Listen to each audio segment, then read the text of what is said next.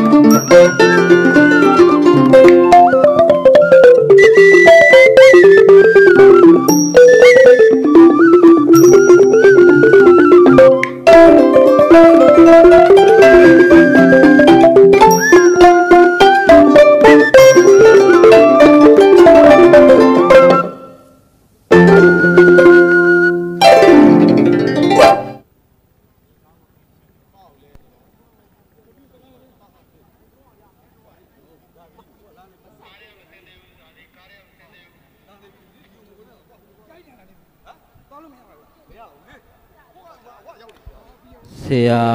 တော်ဘေးရန်ကင်းပါစေစိတ်ဆင်းရဲကင်းပါစေကိုယ်ဆင်းရဲကင်းပါစေကိုယ်စိတ်နှဖျားချမ်းသာစွာဖြင့်ဆရာတော်ခန္ဓာဝန်ကိုသာသနာဝန်ကိုလွယ် စေဆရာတော်ဘေးရန်ကင်းပါစေစိတ်ဆင်းရဲကင်းပါစေကိုယ်ဆင်းရဲကင်းပါစေဘုဒ္ဓမြတ်တာလာရောင်ဖြာပမာ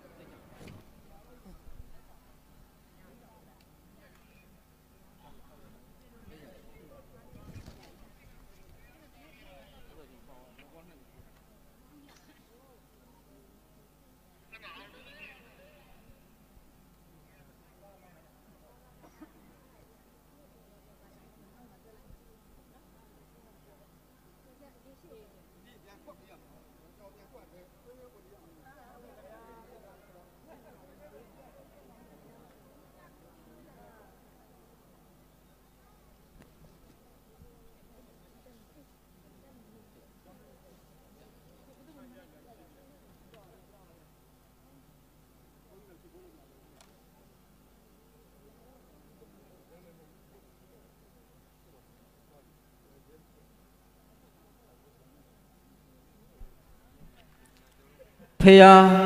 အမျက်ဆုံးယတနာတရားအမျက်ဆုံးယတနာတန်ခါအမျက်ဆုံးယတနာအမျက်ဆုံးသောယတနာမြတ်၃ပါးနှင့်တကွမိခင်ဖခင်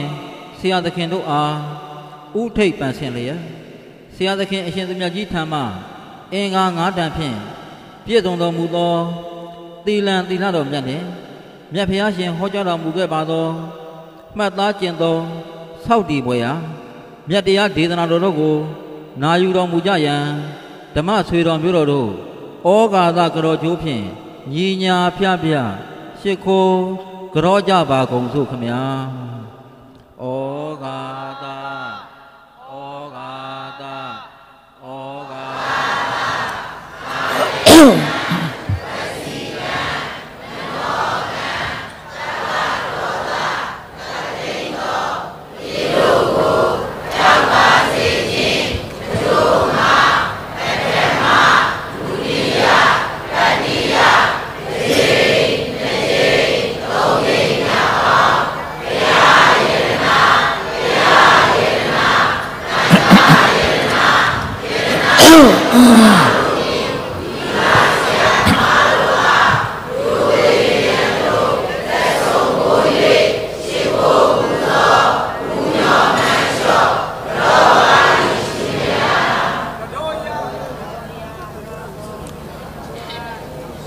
သက်ရှိကြမ်းမှစိတ်ချမ်းသာ၍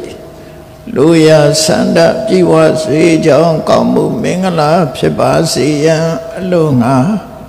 ဖျားမြတ်ဆုံးယရနာတရားမြတ်ဆုံးယရနာတန်ခါမြတ်ဆုံးယရနာဤယရနာမြတ်သုံးပါးတို့အား ရှုတိမြတ်တို့လက်ဆုံးမိုး၍ရှိခိုးပူဇော်ဖူးမြော်မန်းလျောကြောချသောတက္ကိစ္စကာရဝပနာမကုသစေရနာဖြာဖြာတို့ကြောင့်ယနေ့ခါမှစာ၍အသက်ရှိခြင်းကျမ်းမာခြင်းခွန်အားဗလပြေဝခြင်းဉာဏ်ပညာကြီးခြင်းစာရှိသောကောင်းကျိုးချမ်းသာမင်္ဂလာပေါင်းတို့နှင့်ပြည့်စုံကြပြီလေနိဗ္ဗာန်ရောက်ကြောင်းသူတော်ကောင်းတို့ဤခြင်းတရားကိုကျင့်ကြံကြိုးကိုပွားများအထောက်နိုင်ကြကုန်သည်ဖြစ်၍ ဒုက္ခခတ်သိမ်းချုပ်ငြိမ်းရမမြတ်နိဗ္ဗာန်သို့လျင်စောစွာကိုယ်စီကိုယ်ငါမျက်မှောက်ပြုလွယ်နိုင်ကြပါစေအဟံဗန္တိတိတရဏိနသဟာပိစတိလံသမံယာသာမိအနုဂဟံကတဝါသီလံတိထ ဧဗန္တိဒုတိယံပိအဟံဗန္တိတိတရဏိနသဟာပိစတိလံသမံယာသာမိအနုဂဟံကတဝါသီလံဒေထမိဗန္တိတတိယံပိအ ဟံဗန္တိဣတရဏိနသဟာပိစတိလံသမံယာသာမိအနုဂဟံကတဝါသီလံဒေထဧဗန္တိရှာမဟာဝဒာမိတံဝတိထန မောတတဗကဝတောအရဟတောသမ္မာသမ္ဗုဒ္ဓတ္တ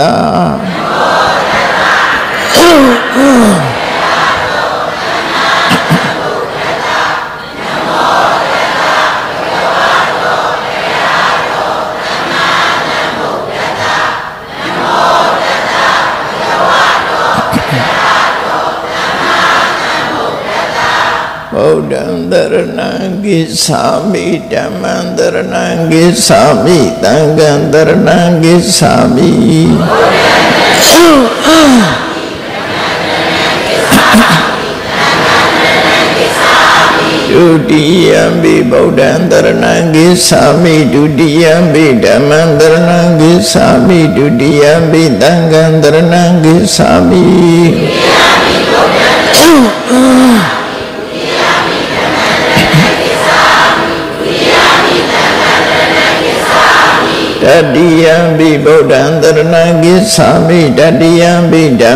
ရဏံကိသာမိဒုတိယံပိဗုဒ္ဓံတရဏံကိ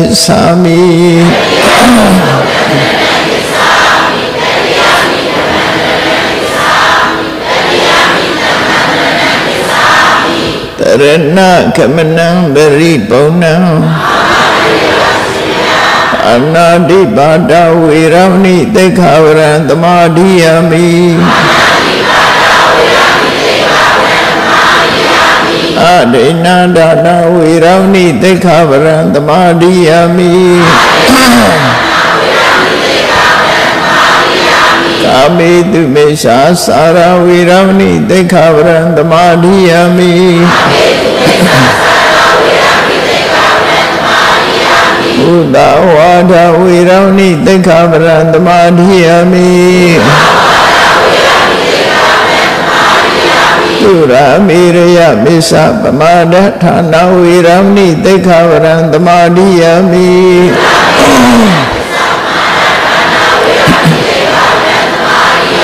ဣဒံမေတိလံနိဗ္ဗာနတပစ္စယော ဟောတုတိတရဏိနသဟပိစသီလံဓမ္မံသာရကံကတဝအပမအဒိနတမ္ပါဒိဋ္ဌာ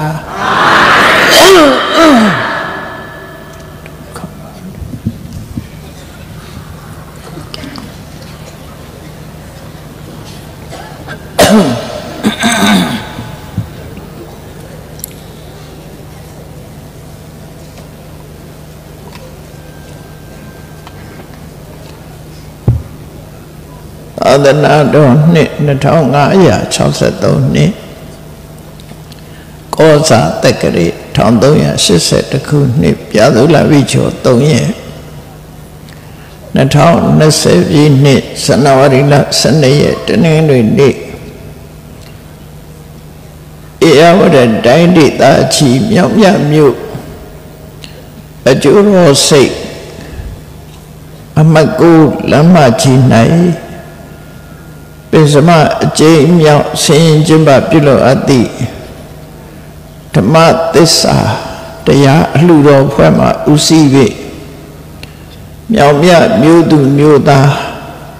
နေသူနေသားများနှင့်မိဘများဖြစ်ကြသောဥငယ်တော်မြလေးစိန်တို့အားအမှုထား၍ဥထုံးလွင်တော်ဆိုင်ညွတ်မိသားစုနှင့် ညီကိုမောင်နှမများဤအမဒဌာနဓမ္မဌာနအဖြစ်ဖြင့်ဟောကြားအပ်သောလူတိုင်းအတွက်အမှန်တရားအကြောင်းတရားဒေသနာတော့ဒီကနေ့ညဓမ္မသဘင်ခန္ဓာကိုရှင်ဘုန်းတော်သခင်ရှင်တော်မြတ်ဖရာ၏ မဟာကရုဏာကုံကိုအာယုပြုကားတိကျူဖွဲ့စွန်အပ်သောဝန္ဒနာပနာမအာတိတဂါထာကိုရွတ်ဆိုပူဇော်ခြင်းဖြင့်စတင်ကြရအောင်ယောကပ္ပဂောတိဟိပိယပမေယံကာလံကရွန်တော်တိဒုက္ခရာနိ ခေရံကတောလောကဟိတယနာထောနမောမာကာရုဏိကတတတ္တယောနာထောဝိနိယမြာစွာတတ္တဝါဤချမ်းသာစီးပွားလိုလားတောင်းတဂုံပေါင်းခါသဖြင့်နာထမြညာကျင့်ရှင်တော်မြတ်ဖရာသည် ကပ္ပကောတိဟိပိဂရေကဘာအရေးအတွက်သင်္ချာတို့ဖြင့်တော်လဲအဘေမေယံရည်တဲ့တိုင်းတာဖော်ပြခြင်းငါမဆန်းနိုင်ပါသောကာလံလေးအသင်ချေသိဏီကဘာရှိကြသောကာလပတ်လုံးလောကဟိတယတတလောကဤအကျိုးစီးပွားအလို့ငါ အတိဒုက္ခရာနိဥစ္စာအသက်ချင်းလဲအင်္ဂါမေတ္တာကြီးမှသမိသာနှင့်တထာဇနီစွန်ញင်းကြီးဟုကျတိထဝေငါသက်အစုအလုံးခဲရင်တော်မူတို့ကိုကရွန်တော်ဖျားဖြစ်ရန်ဤတန်ကြိုးကိုအာထုတ်တော်မူရသည်ဖြစ်၍ခေရန်လက်ချေမျက်လုံးအသက်ဆုံးရဲ့နှလုံးစိတ်ဝံကိုရောဤပေမန်းခြင်းတို့ ကတောဘဝတဏ္ဍကျိန်ဖမြစွာရောက်တော်မူခဲ့ရရှာလေးပြီမဟာကရုဏီကတတတဝါများရင်ဝေသားကဲ့သို့တနာချစ်ခင်မှာကရုဏာရှင်ဖြစ်တော်မူသောတသနာထသဝိနည်းများစွာတတဝါဤချမ်းသာစီးပွားလိုလားတောင်းတဂုံပေါင်းခါသဖြင့်နာထမြညာ ထိုရှင်တော်မြတ်ဖရာအားနမောယုတိပြောင်းပြော့မန်ကိုလျော်၍ကရောယုကျိုးရှိခိုးခြင်းသည်အထုဘဝတုစင်စစ်မသွေဖြစ်ပါစေတည်း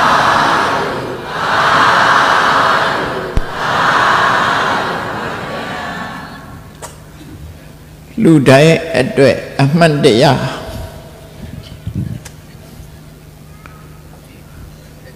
အမှတ်တရဆိုတာ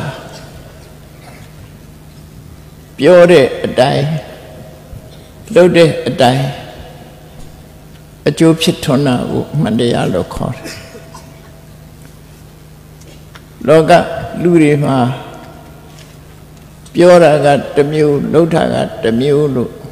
မကန့်ရတာတွေလည်းရှိတယ်ပေါ့ပြောတဲ့အတိုင်းဖြစ်မှမန္တရားလို့ခေါ်ပြောတဲ့အတိုင်းမဟုတ်လို့ရှိရင်မန္တရားလို့မခေါ်နိုင်ဘူးပေါ့ဒါပြင်အမှန်တရားဆိုတာဘယ်မှာရှိတာလဲဆိုတော့လူတိုင်းလူတိုင်းရဲ့ရှင်ထဲမှာရှိတယ်လို့ပြောအောင်မှာဖြစ်တယ်အဲ့ဒီအမှန်တရားကို အမှန်တရားပါလို့ဆုံးမဟောကြားပေးတဲ့အသိပညာထက်မြက်တဲ့ပုဂ္ဂိုလ်သူများတွေဘုရားဗတဝိနုရဲ့ဖို့ဘုရားမြတ်စွာကအမှန်တရားဆိုပြီးတော့ဟောကြားခဲ့တာဖြစ်တယ်တခြားဘာသာတွေမှာလည်းပဲသူတို့ယုံကြည်ရကိုးကွယ်ရအမှန်တရားလို့ယူဆတာတွေမရှိဘူးမဟုတ်ရှိတယ် မပြောဘူးလည်းမဟုတ်ဘူးပြောကြတယ်သို့တော့အမှန်တရားဟုတ်သည်မဟုတ်သည်ဆိုတာအပြောနဲ့မဆုံးဖြတ်ရပဲနဲ့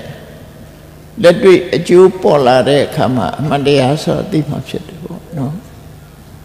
ပြောတဲ့အတိုင်းဖြစ်ရင်တော့အမှန်တရားလို့ပြောရမှာပြောတဲ့အတိုင်းမဖြစ်ဘူးဆိုရင်တော့အမှန်တရားမဟုတ်ဘူးမြတ်စွာဘုရားဟောကြားတဲ့အမှန်တရားဆိုတာ လူတိုင်းလူတိုင်းကိုယ့်ရဲ့ရင်ထဲနှလုံးထဲမှာရှာတွေ့နိုင်တဲ့တရားတွေချီပဲကော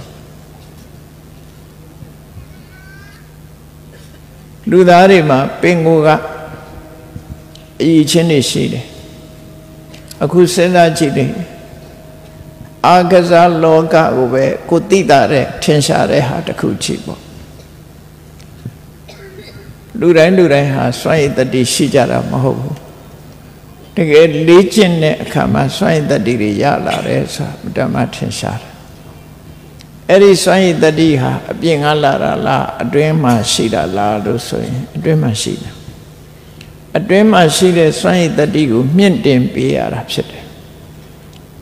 ရှိပြီးသားစွန့်ရည်တတိကိုမြင့်တင်ပေးရကိုယ့်ရဲ့ကိုယ်ကာယ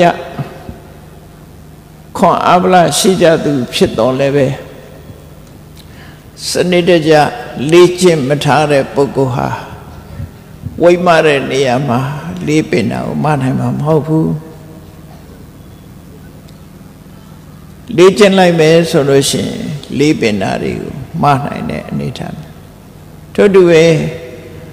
အာကစားမှာပြေးခုံပြစ်စွာတွေပြေးနိုင်တယ်ဆိုတာလည်းပဲလေ့ကျင့်ထားတဲ့ပုဂ္ဂိုလ်တွေကပြေးနိုင်တာပဲဖြစ်တယ် အဲ့တော့ဒီလေ့ကျင့်တယ်ဆိုတာဘယ်ဟာကတော့လေ့ကျင့်တာတော့ဆိုကိုယ်ခန္ဓာကိုယ်ထဲမှာရှိတာပဲလေ့ကျင့်ကိုယ်ကာယကိုလေ့ကျင့်တော့ physical exercise ဒါလုံးရတာအဲ့ကြတော့မှကာယရဲ့တန်ဆွမ်းမှုရပြီထို့တူပဲတစ်ဖက်က mental exercise စိတ်ပိုင်းဆိုင်ရာမှာလည်းပဲကြန့်ခိုင်တဲ့စိတ်ဓာတ် ရရှိဖို့ရအတွက်ကိုယ်ရင်ထဲမှာရှိတဲ့မွေးရပါစိတ်ကိုခြေခံပြီးတော့လေ့ကျင့်ရမှာပဲဖြစ်တယ်အဲ့ဒီလေ့ကျင့်မှုဟာအရေးကြီးဆုံးပဲဘယ်ရာပဲဖြစ်ဖြစ်လေ့ကျင့်မှုကင်းပြီးတော့အောင်မြင်တယ်ဆိုတာမရှိဘူးစဉ်းစားကြည့်လေဘုန်းကြီးတို့တွေလူဘဝရလာကြတယ်ရလာတဲ့အခါမှာ လူသားတယောက်အနေနဲ့မွေးဖွားလာပြီးတဲ့နောက်မလို့အသိပညာတတ်ဖို့စာသင်ကျောင်းပို့ကြတယ်မိဘတွေကစာသင်ကျောင်းပို့ပြီးတော့ပညာရည်စွမ်းအားတွေထက်လာအောင်သင်ကြားခြင်းလေ့လာခြင်းဆိုတာလောက်ရတယ်ကျောင်းမနေခဲ့ဘူးဆိုလို့ရှိရင် စာတောင်ဖတ်တတ်မှာမဟုတ်ဘူးပေါ့အဲ့တော့စာမဖတ်တတ်ဘူးဆိုတာစာဖတ်တတ်တယ်စာမဖတ်တတ်ဘူးစာတတ်တယ်စာမတတ်ဘူးဆိုတာတွေကကိုပင်ကိုရည်ချင်းကိုမြင့်တင်မပေးဘူးဆိုလို့ရှိရင်အများဖတ်တတ်တဲ့စာကိုပဲကိုယ်ကဖတ်တတ်မှာမဟုတ်ဘူးရည်ချင်းကိုမြင့်တင်ပေးလိုက်လို့ရှိရင်ကိုယ်စာတွေမကဘူးတခြား လူမျိုးတွေရဲ့စာပေဥပဖတ်ရှုလေ့လာနိုင်တဲ့အနေအထားမျိုးရောက်လေ့ကျင့်သင်ကြားမှုဟာကိုယ်မှာအခြေခံအားဖြင့်ရှိတဲ့ပညာစွမ်းအားကို တိုးတက်မြင့်မောင်းလုပ်ခြင်းသာလည်းဖြစ်တယ်ပြင်ဘက်ကလာပေးတာမဟုတ်ဘူးကိုယ့်အကိုလေ့ကျင့်တာရတယ်သင်လို့တတ်လာတယ်ဆိုတာအတွင်းနဲ့အပြင်ပေါင်းဆက်ပေးတာပဲဖြစ်တယ် အပြင်ကလမ်းညွှန်မှုပြုတာအတွင်းကလက်တွေ့လေ့ကျင့်တာ internal condition နဲ့ external condition အပြင်နဲ့အကြောင်းနှစ်ခုပေါင်းစပ်မှကောင်းမြတ်တဲ့ရလတ်တစ်ခုရတယ်ဆိုစဉ်းစားကြည့်လေလူတွေနေ့စဉ်အစာစားနေတာ ကိုယ့်ရဲ့ခန္ဓာကိုယ်အတွင်းကလည်းပဲကျန်းမာရေးကောင်းတယ်။ organ တွေကအကုန်ကောင်းတယ်။လူရဲ့ကလေးစားတွေကဘာမှမဖြစ်ဘူး။ပြင်ဘက်ကလည်းပဲအားရှိတဲ့အစာစားတယ်။ဟောအပြင်ကအစာအတွင်းကအစာကိုလက်ခံနိုင်စွမ်းရှိတဲ့အရာတွေနှစ်ခုပေါင်းလိုက်ပြီဆိုတဲ့အခါကျလူတွေဟာအင်အားပြေလာကြတာ။နော် ဘလောက်ပဲအင်အားကောင်းနေနေအစာဖြတ်ထားလိုက်ပဲဆိုရင်အင်အားတွေရောသွားနိုင်တယ်လေအပြင်ကကုကုညီမှုမရှိဘူးဆိုရင်အစာပြတ်ရေငတ်အားပြတ်သွားနိုင်ပြင်ဘက်ကအစာတွေဘလောက်စားစားအတွင်းကကျမ်းမာရေးမကောင်းမှုဆိုတဲ့အခါကျတော့လေအာမဖြစ်ပြန်အတွင်းကောင်းအပြင်ကောင်းနှစ်ခုပေါင်းစပ်မှ ကောင်းမြတ်တဲ့ရလတ်တစ်ခုရတယ်ဆိုတာထင်ရှားတယ်ဘယ်အရာပဲဖြစ်ဖြစ်ဒီပုံစံကိုမှတ်သားဒါဟာလက်တွေ့သိလို့ရတာဖြစ်သောကြောင့်အမှန်တရားပဲဖြစ်တယ်ကိုသိနိုင်တဲ့အမှန်တရားကိုကြော်ပြီးတခြားအမှန်တရားကိုရှာဖို့မရှိဘူးနော်ကိုယ့်ရဲ့အသိဉာဏ်နဲ့သိနိုင်တဲ့အမှန်တရားပြင်အခြားအမှန်တရားဆိုတာရှာလို့ရမှာမဟုတ်ဘူးသို့တော့ အမှန်တရားကိုသိဖို့အတွက်သင်ကြားမှုဆိုတာတော့လာရမှာပဲဖြစ်တယ်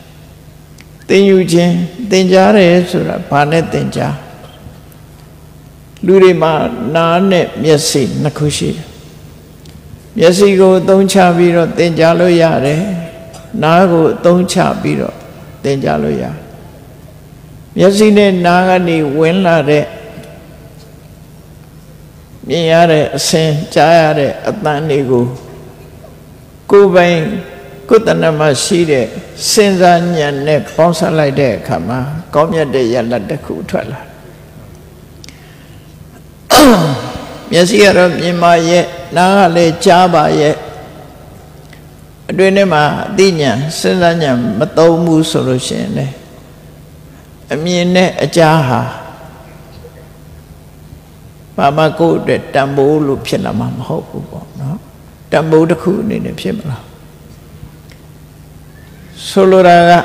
ဘယ်ရာပဲဖြစ်ဖြစ်အတွင်းနဲ့အပြင်နှစ်ခုပေါင်းစပ်ရမယ်လို့နှစ်ခုစလုံးကောင်းမြတ်ပြီးဆိုတဲ့အခါကျမှပေါင်းစပ်တဲ့အင်အားနဲ့အမှန်တရားဆိုတာသိရှိနားလည်ရတာဖြစ်တယ်အဲ့ဒီပဲအပြင်ကကုညီတာက ခိုက်လိုက်ပေးတာတို့လမ်းညွှန်မှုပြုတာတို့ဒါအပြင်ကအကြောင်းလက်တွေ့လှုပ်ဆောင်ရတာလိုက်နာဆောင်ရရတာကအတွင်းအကြောင်းဆိုပါစို့နေမကောင်းထိုင်မသာဖြစ်လို့တမားတော်စီသွားတယ်ဘလို့ယုံကြည်ခြင်းနဲ့သွားတာလဲဆိုရင်ကိုခံစားနေရတဲ့ယောဂ ဘယ်ဆေးတောက်ရင်ပျောက်တယ်မပျောက်ဘူးဆိုတာသိချင်တယ်ဘယ်စားစားနဲ့တဲ့တယ်မတဲ့ဘူးဆိုတာကိုမသိဘူးမသိလို့ကျွမ်းကျင်တဲ့တမားတော်စီကိုသွားတဲ့အခါမှာတမားတော်ကဒီယောဂဘာကြောင့်ဖြစ်တယ်ဆိုတော့ယောဂရဲ့အကြောင်းကိုရှာပြတယ်ပြီးတဲ့အခါဘယ်ဆေးတောက်ရင်ပျောက်တယ်လို့ဘယ်အစားအစာဟာမတည့်ဘူးဘယ်အစားအစာဟာတည့်တယ် ရှောင်ရမှနဲ့ဆောင်ရမှတောက်ရမယ်ဆေးယောဂဖြစ်ခြင်းအကြောင်းဒါကိုပဲပြေးလိုက်တာမဟုတ်လားကိုကိုယ်တိုင်ကအဲ့ဒီဆေးကိုမတောက်ဘူးဆိုလို့ရှိရင်ကိုယ်တဏ္ဍမှာယောဂပြောင်းမှာမဟုတ်ဘူးဒါတမားတော်ကအုံဖွားဆိုပြီးမန်းပေလို့ပျောက်တာမှမဟုတ်တာဆေးကမှယောဂကုတာပြောတော့ တမားတော်ကယောဂကုတယ်လို့ပြောပြီမဲ့တမားတော်ကဆေးပဲပေးတာဘာလို့ရမလဲရှောင်ရမှနဲ့ဆောင်ရမှနှစ်ခုပဲပြောတယ်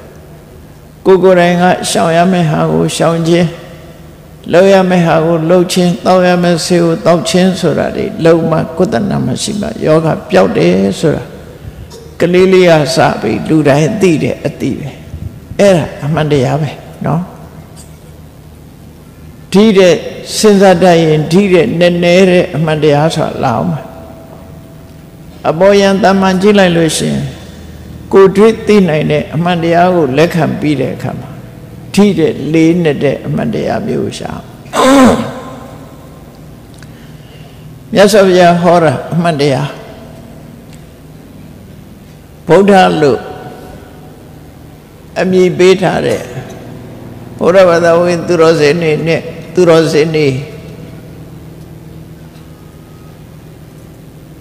ကိုယ်ကြယ်လို့ပြောရတာတော့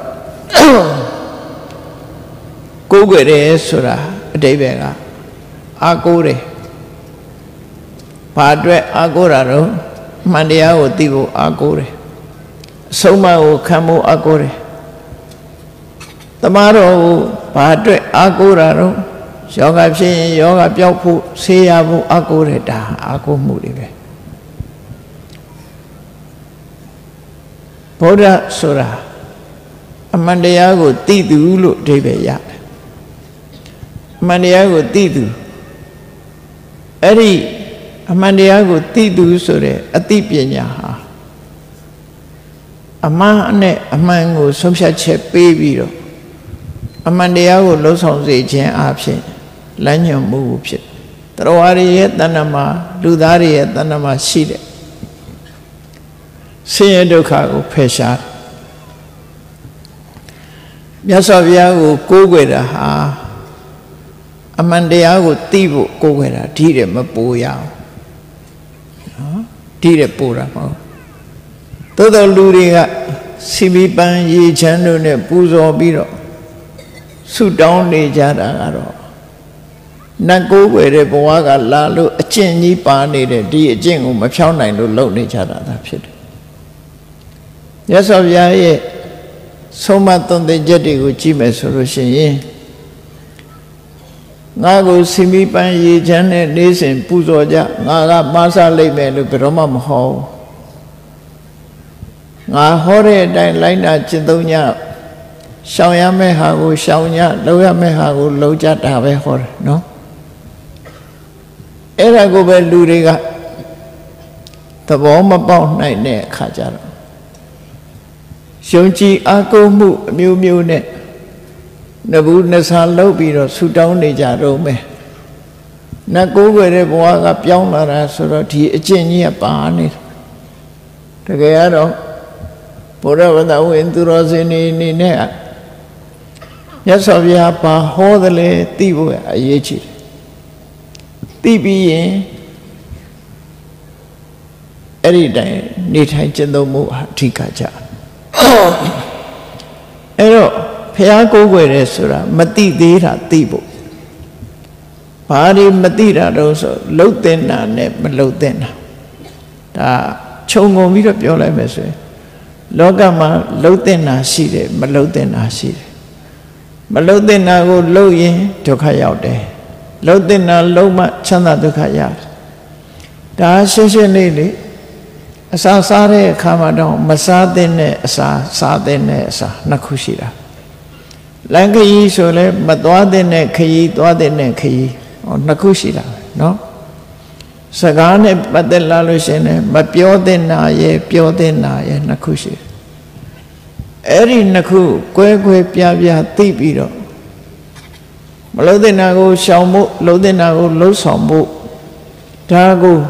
အမတန်မှကျေပြတ်တဲ့အရာကိုသိဖို့အတွက်ဖះကိုကိုယ်ပဲဖះကဟောလို့ရှိရင်လည်းလုံးတဲ့နာနဲ့မလုံးတဲ့နာခွဲခြားပြီးတော့ပဲဟောတယ်ခြုံငုံပြီးတော့ပြောလိုက်တဲ့အခါ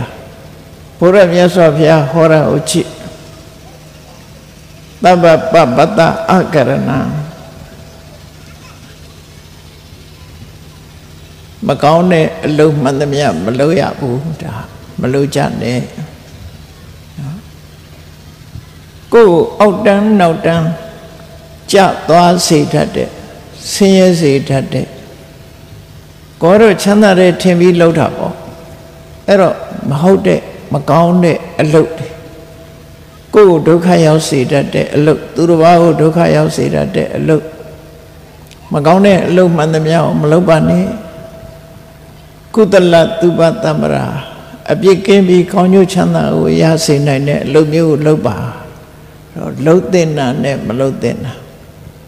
မကောင်းမှုလို့ခေါ်ကြတဲ့အကုသိုလ်မှန်သမျှမလုပ်နဲ့ကောင်းမှုလို့ခေါ်တဲ့ကုသိုလ်မှန်သမျှကုသနာမှာဖြစ်အောင်လုပ်ဘာကြောင့်မလုံးနဲ့လို့ပြောတော့ဆိုအကုသိုလ်လုပ်ရင်သူ့ရဲ့အကျိုးသည်ဒုက္ခဝိပါကဆင်းရဲတဲ့အကျိုးပဲပေးမယ်။ ဘာကြောင့်ကုသိုလ်နဲ့ကုသိုလ်ကိုလုံးအောင်မလဲဆိုရင်ကုသိုလ်ရဲ့အကျိုးသည်ဒုက္ခဝိပါကကောင်းတဲ့အကျိုးကိုပေးတယ်။ကိုကလိုချင်တာကောင်းတဲ့အကျိုးကိုကလိုချင်တာဒုက္ခရတာကဒုက္ခဖြစ်နေတာ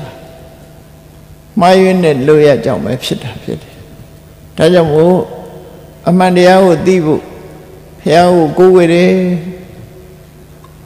အဲ့ဒီကိုးကွယ်မှုကြောင့်ကိုယ်မှာအမှန်တရားတွေဘယ်လောက်သိပြီလဲဘာလို့ရမှာကိုလှုပ်တင်တာတွေဘယ်လောက်သိပြီလဲမလှုပ်တင်တာတွေဘယ်လောက်သိပြီလဲဒါသိဖို့အထက်ကသိပြီးတဲ့အခါမှာမလှုပ်တင်တာတွေကိုရှောင်မှုလှုပ်တင်တာတွေကိုလှုပ်ဆောင်မှုဆိုတာဒါကိုဆက်လုပ်ရမယ်တောင်းဆက်လုပ်ရမယ်တောင်း မြတ်စွာဘုရားဟောတဲ့လူတိုင်းအတွက်အမှန်တရားဆိုတာလူမျိုးမရွေဘာသာမရွေဘယ်ပုဂ္ဂိုလ်ပဲဖြစ်ဖြစ်လူဆိုရင်လူသားတွေမှန်သမျှတူတူပဲယုံကြည်ချက်ချင်းတူတာမတူတာအသာထားနော်ဒီမယုံကြည်တဲ့လူလဲထညက်ဆိုတာချိုးတယ်ဆိုတာဘသူစားစားချိုးမှာပဲလေ ငါထညက်ချိုးတယ်ဆိုတာငါမယုံဘူးစားကြည့်မယ်စားကြည့်တဲ့လူလည်းချိုးမှာမယုံဘူးလို့ပြောတဲ့လူလည်းချိုးမှာပဲယုံတယ်လို့ပြောတဲ့ပုဂ္ဂိုလ်လည်းချိုးမှာပဲဘာကြောင့်လို့ဆိုရင်သူ့ရဲ့သဘာဝကအချိုးထက်ကိုထို့တူပဲကုသိုလ်ကောင်းမှုဟာလည်းပဲယုံသည်ဖြစ်စေမယုံသည်ဖြစ်စေဒီလမ်းကြောင်းဒီအလုပ်ကိုလုပ်ရင်ကောင်းကျိုးချမ်းသာရမှာပဲအကုသိုလ်ဆိုတဲ့အလုပ်ဟာ ဒုက္ခဝိပါကဆိုးကျိုးကိုပေးတာဖြစ်တော့ကြောင့်ဒီအလုပ်ကိုလုပ်ရင်ဗုဒ္ဓဘာသာဆိုပြီးကင်းလွတ်ခွင့်ရမှာမဟုတ်ဘူးတခြားဘာသာဆိုပို့ပြီးတော့ဒုက္ခရောက်တယ်ဆိုတာလည်းမရှိဘူးရှောင်တဲ့လူရမှာပဲမရှောင်တဲ့လူခံရမှာပဲမလို့တဲ့နာကိုလုပ်ရင်ဘယ်သူမျိုးမဆိုမလို့တဲ့နာရဲ့ဒဏ်ခတ်မှု reaction ဆိုတဲ့သဘောတရားရမိကင်မဲ့ဆိုရင်ဘယ်သူကင်ကင်ပူမှာပဲ အကာအကွယ်မလုပ်ဖ ೇನೆ ကင်နဲ့ပုဂ္ဂိုလ်ရဲ့လက်လောင်မှာပဲဒါမိရဲ့သဘာဝပဲအဲ့ဒါလိုပဲအကုသိုလ်လို့ဆိုတာငါတို့ကတော့မယုံလို့ငါ့ကိုအကုသိုလ်ကအကျိုးမပေးဘူးလို့မရှိဘူးမရှိဘူးငါကတော့ယုံနေယုံလို့အကုသိုလ်ကအကျိုးမပေးဘူးဆိုတာလည်းမရှိဘူးတဘာဝတရားဆိုတာတူညီသောလှုပ်ဆောင်ပေးမှုရှိတယ် ခွဲခြားတာမျိုးမရှိဘူးအမှန်တရားဆိုဒီမှာဒါကဘာလူမျိုးဒါကဘယ်ဘာသာဝင်ဒါကအမျိုးသားဒါကအမျိုးသမီးဒီလိုခွဲခြားတာမျိုးလုံးဝမရှိဘူးဘယ်သူပဲဖြစ်ဖြစ်အားလုံးဟာတူညီတဲ့အကျိုးကျေးဇူးကိုခံစားရမယ်တူညီတဲ့ဒုက္ခကိုလည်းခံစားရမှာဖြစ်တယ် အလုတ်တူညီရင်ဒုက္ခတူညီမယ်အလုတ်တူညီကောင်းတဲ့အလုတ်ချင်းတူညီရင်ကောင်းကျိုးချမ်းသာရကြမယ်ဆိုးကျိုးကိုဖြစ်စေတတ်တဲ့မကောင်းတဲ့အလုတ်ချင်းတူညီရင်လည်းမကောင်းကျိုးရကြမယ်အမှန်တရားဆိုတာကိုယ့်ရင်ထဲမှာဖြစ်ပေါ်လာတဲ့အရာခဏခေတ်မှာဆိုလို့ရှိရင်အလုံးနားလဲတာနိုင်တာနဲ့ပြောမယ်ဆိုရင် ကိုလုံးတဲ့ပုံရိပ်တွေဟာကိုယ့်ရင်ထဲမှာရှိတယ်မတန်တဲ့မိသားဖြစ်သွားတယ်ညင်းဆိုလို့မရဘူးကိုယ့်ရင်ထဲကဖြစ်တဲ့အတွေး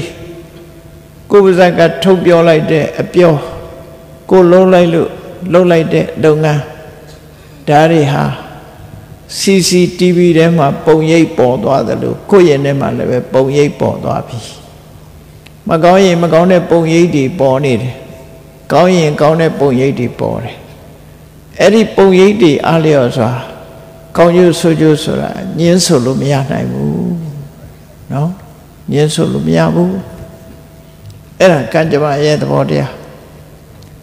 ကံဆိုတာကိုလှုပ်တာပဲသူများလာလှုပ်တာမဟုတ်ဘူးဆိုပါစို့ကိုလှုပ်လိုက်လို့တစ်ဖက်သားမှာ ဒုက္ခအကြီးကျယ်ရောက်ပြီးတော့စိတ်ဆင်းရဲမှုကိုယ်ဆင်းရဲမှုတွေခံစားရတယ်ဆိုရင်ခုခေတ်ဆိုရင်ဂျင်းထဲလိုက်လို့ဟိုမှာစပ်ပူစပ်လောင် ဖြစ်သွားပြီဆိုရင်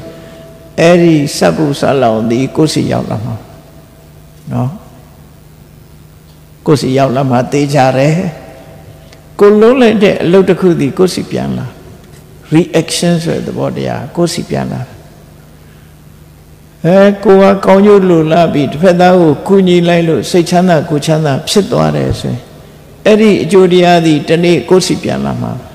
ကောင်းကျိုးချမ်းသာဆိုပြန်လာဒါကဘယ်သူကမှဖန်ဆင်းတာမဟုတ်ဘူးဖရာသခင်ကဖန်ဆင်းတာလည်းမဟုတ်ဘူးတဘာဝတရားကသာလင်ဖြစ်တယ်ဘုန်းကြီးတို့တွေအသက်ရှင်နေကြတာတဘာဝတရားပေါ်မှာမှီပြီးအသက်ရှင်နေကြတယ်ဆိုတာထင်ရှားတယ်လေတဘာဝ အစာအစာတွေတဘာဝလေးကိုရှုပြီးတော့အသက်ရှင်နေကြတာတဘာဝရေတဘာဝအစာအစာတွေတဘာဝရေကိုတောက်ရတယ်တဘာဝအစာအစာတွေစားပြီးအသက်ရှင်နေကြဒါထင်ရှားအဲ့တော့လူတိုင်းအတွက်အမှန်တရားဆိုတာလေးကိုအမှန်တရားဆိုတာကိုသစ္စာဓမ္မလို့ပြောခြင်းပြော ဒီနေရာမှာပြောခြင်းတာတတ္ထမမှန်တရားသူတော်ကောင်းတွေမျက်နှိုးပြီးတော့သူတော်ကောင်းတွေရဲ့ယင်ထဲမှာဖြစ်အောင်လုပ်ရတဲ့အမှန်တရားလူတိုင်းလူတိုင်းရဲ့ယင်ထဲမှာဒါကိုဖြစ်ဖို့လိုတယ်ကိုယ့်ယင်ထဲရောက်မှကိုယ့်ရဲ့ပုံရိပ်ကကောင်းတဲ့ပုံရိပ်ဖြစ်မှာဒီတရားတွေရှိမှကောင်းတဲ့ပုံရိပ်ဆိုတာလား မကောင်းတာတွေရှိနေမကောင်းတဲ့ပုံရိပ်တွေဝင်နေမှာပဲမကောင်းတဲ့ပုံရိပ်ဆိုတာပြေးလွတ်လွတ်မှာမဟုတ်ဘူးဒီပုံရိပ်ကြီးထင်းနေတယ်ဒါကြောင့်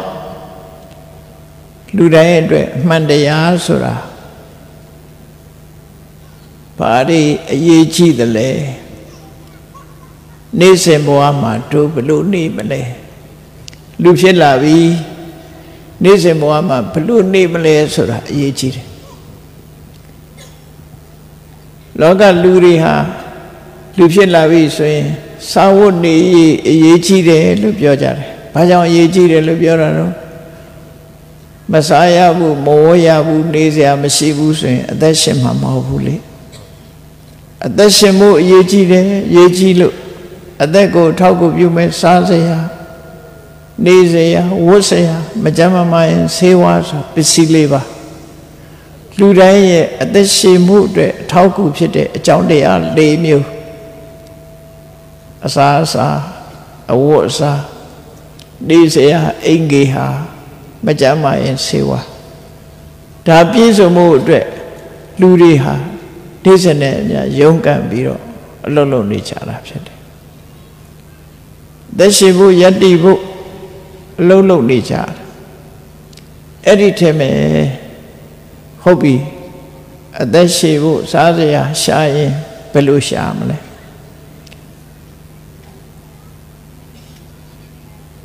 အသက်ရှိဖို့အတွက်ဝတ်စရာအသက်ရှိဖို့အတွက်နေစရာရှာတဲ့အခါဘယ်လိုရှာမလဲအဲ့ဒီရှာဖို့ရှာနေကြတော့ way of life မတူညီကြတော့ဘူးเนาะမကောင်းတာလုပ်ပြီးရှာမလားကောင်းတဲ့လမ်းကြောင်းကရှာမလား အဲ့ဒီနှစ်ခုကွဲပြားခြားနာသွားပြီမကောင်းတဲ့လမ်းကြောင်းကသွားလို့ရှိရင်အဆိုးနဲ့တွေ့မယ်ကောင်းတဲ့လမ်းကြောင်းကသွားရင်ပြစ်ကင်းတဲ့လမ်းကြောင်းကသွားရင်ကောင်းတာတွေ့မယ်ဒါလည်းပဲသူ့ရဲ့နေချပဲတဘာဝတရားပဲဒါကြောင့်မို့ဒီအချက်မှာပစ္စည်းရှာတာဟုတ်ပြီသာဝနေရရှိမှအသက်ရှင်မှဒါကြောင့်မို့သာဝနေရပြည့်စုံ ဘယ်လိုအရေးချင်းနေဘယ်လိုသုံးချပြီးရှာမလဲဆိုတာဒါအရေးကြီးတယ်ပေါ့အဲ့ဒါကြတော့မြတ်စွာဘုရားကလမ်းညွှန်မှုပေးတယ်လမ်းညွှန်မှုပေးပြီးတော့တရားတွေကိုလူသားတွေကိုကောင်းကျိုးချမ်းသာရအောင်လမ်းပြပေးတယ်ပြောကြတယ်မဟုတ်လားလမ်းပြကျဲလမ်းပြအလင်းဟောင်း မြတ်စွာဘုရားပြတာလမ်းလေးအဲ့တော့ပြထားတဲ့လမ်းကိုရှောက်ဖို့ကြတော့ကာယကံရှင်နဲ့ဆိုင်သွားပြီလမ်းဖောက်ပြီးရင်လမ်းပေါ်မှာမလျှောက်ဘူးဆိုရင်ဒါမလျှောက်တဲ့လူရဲ့တောင်းပဲလမ်းဖောက်ပေးတဲ့ပုဂ္ဂိုလ်ရဲ့တောင်းမဟုတ်တော့ဘူးလမ်းပြထားပြီဆိုရင်အဲ့ဒီလမ်းကသွားဖို့ပဲအရေးကြီးတယ်အဲ့တော့တတ္ထမအမှန်တရားဆိုတာ ਨੇ ပတ်သက်ပြီးတော့ တတိနဲ့ပညာကိုယ့်ရင်ထဲမှာဒီနှစ်ခုကိုသုံးချတရားပွဲလုပ်ပြီးတရားနာရဲဆိုတာကိုယ့်ရင်ထဲမှာရှိတဲ့တတိကိုယ်ကောင်းထဲမှာရှိတဲ့ပညာဒီနှစ်ခုကိုသုံးချတတိဆိုတာအာယုစူးစိုက်ခြင်းပညာဆိုတာအာယုစူးစိုက်မှတ်သားထားတဲ့အပေါ်မှာအမှန်အမှားကို ဆင်ញင်သုံးသပ်ကြည့်ခြင်းဟောဒီနှစ်ခုအရေးကြီးဆုံးတတိနဲ့ပညာဒီနှစ်ခုဟာအမြဲတမ်းတွဲဖက်ပြီးနေရမှာဖြစ်တယ်ပညာဥဆောင်တဲ့တတိနဲ့အကြောင်းအရာကိုမှတ်သားအောင်မှတ်မိအောင်ကြိုးစားရမယ်တတိဥဆောင်တဲ့ပညာနဲ့ အဓိပ္ပာယ်ကိုနားလည်အောင်စဉ်းစားရမယ်ဒီနှစ်ခုဟာပညာသင်လည်းပဲဒီတိုင်းပဲကျောင်းနေလို့တက္ကသိုလ်ကောလိပ်ပညာသင်ပြီဆိုတဲ့အခါမှာလည်းဒီနှစ်ခုသုံးချအာယုစုဆိုင်ခြင်းဆိုတဲ့တတိသင်ယူခြင်းဆိုတဲ့ပညာအဲ့ဒီနှစ်ခုပေါင်းစပ်ထားပြီးတော့ ပညာရအောင်ယူကြရတာဖြစ်တယ်ပေါ့ခုလည်းပဲမြတ်စွာဘုရားဟောထားတဲ့လူတိုင်းအတွက်အမှန်တရားဆိုတာကိုယ့်ရဲ့မွေးရပါဖြစ်တဲ့တတိပညာတွေကိုတိုးမြင့်ပေးထားပြီးတော့မမိအောင်အာယုစူးစိုက်ခြင်းမမိထားတဲ့အရာပေါ်မှာဆင်ញင်သုံးသပ်ကြည့်ခြင်းဒီနှစ်ခုနဲ့မှအသိပညာဆိုရမယ်နော် အသိပညာရအေးကောင်းပြီပထမဆုံးရှိရမယ်ကိုယ်အရေးချင်းကပါလဲလို့ဆိုတတ္ထာယုံကြည်မှု faith ယုံကြည်မှုလောကလူတွေကပြောကြတယ်ယုံကြည်မှုဆိုတာတွေကကျက်ပြန့်တယ်ဟိုလူပြောတာယုံတယ်ဒီလူပြောတာယုံတယ်ဟိုဘာသာယုံတယ်ဒီဘာသာဒါတွေယုံတယ်လို့ ပြောကြတဲ့နေရာမှာဘာကိုယုံရမလဲဆိုတာပြောတဲ့အတိုင်းအကုန်လျှောက်ပြီးယုံရမှာလားဒီလိုအဓိပ္ပာယ်မျိုးမဟုတ်ဘူးယုံသင့်တာနဲ့မယုံသင့်တာနှစ်ခုရှိသေးတယ်ယုံတိုက်တဲ့အရာကိုယုံရမယ်မယုံတိုက်တဲ့အရာကိုမယုံအောင်ဘယ်အရာကိုယုံရမလဲဆိုရင်အကြောင်းနဲ့အကျိုးနဲ့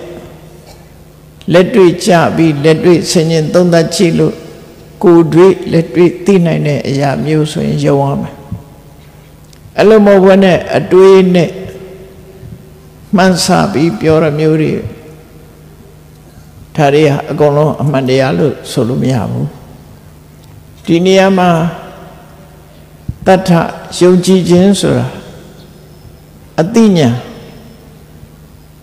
အမှန်တရားကိုဖော်ထုတ်ဟောတဲ့ပုဂ္ဂိုလ်ရဲ့အတိညာကိုယုံကြည်ရမယ်တမားတော်စီသွားတဲ့အခါမှာအဲ့ဒီတမားတော်ရဲ့ဆေကုသနိုင်စွမ်းအစွမ်းအည်ကိုယုံကြည်ကြတာလေယုံကြည်လို့သွားတာလေဒေါက်တာဂူဘေးစီဘယ်သူမှမသွားဘူးသူစီသွားရင်ဂူပဲရမှာမဟုတ်နော်ဒေါက်တာဂူဘေးတို့ ဒေါက်တာအလောင်းစီသူတို့ဆိုတာရှိသေးတာဟုတ်အဲ့ဒီလိုစီဘယ်သူမှမသွားဘူးလေသူကဂူပဲပေးတာဆိုတော့ကိုယ်စိတ်ထဲမှာယုံကြည်စိတ်ချရတဲ့ဆရာဝန်မျိုးစီကိုသွားတယ်အဲ့တော့ယုံကြည်စိတ်ချရမှုဆိုတာလေအရင်ယုံကြည်ရတဲ့ဟာတော့မဟုတ်သူ့ရဲ့ပညာကိုယုံကြည်တာအခုလည်းအမှန်တရားကိုဟောကြားတဲ့ပုဂ္ဂိုလ်ရဲ့အသိပညာကိုယုံကြည်တယ် အသိပညာယုံကြည်တာရဲ့တကူကိုယုံကြည်တာရဲ့နှစ်မျိုးရှိတယ်သတိထားဖို့ရဘယ်ဟာကအမှန်တရားလဲအသိပညာကိုယုံကြည်တာကအမှန်တရားလားအစွမ်းတကူကိုယုံကြည်တာကအမှန်တရားလားလို့ဆိုစဉ်းစားကြည့်အောင်လောကဘာသာမျိုးစုံမှာအစွမ်းတကူကိုယုံကြည်တဲ့ဘာသာတွေကများတယ် ဘုရားဘာသာမှာအစွမ်းတကူယုံကြည်ရမယ်လို့မဟုတ်ဘူးလူတွေကသာယုံကြည်နေကြတယ်မြတ်စွာဘုရားကအသိပညာကိုယုံကြည်ရမယ်လို့ပဲဟောတယ်ကဲအသိပညာကိုယုံကြည်တာနဲ့အစွမ်းတကူကိုယုံကြည်သူနှစ်ယောက်ဒီလူနှစ်ယောက်ရဲ့လာယာဂတိကိုကြည့်အစွမ်းတကူကိုယုံကြည်တဲ့ပုဂ္ဂိုလ်သည်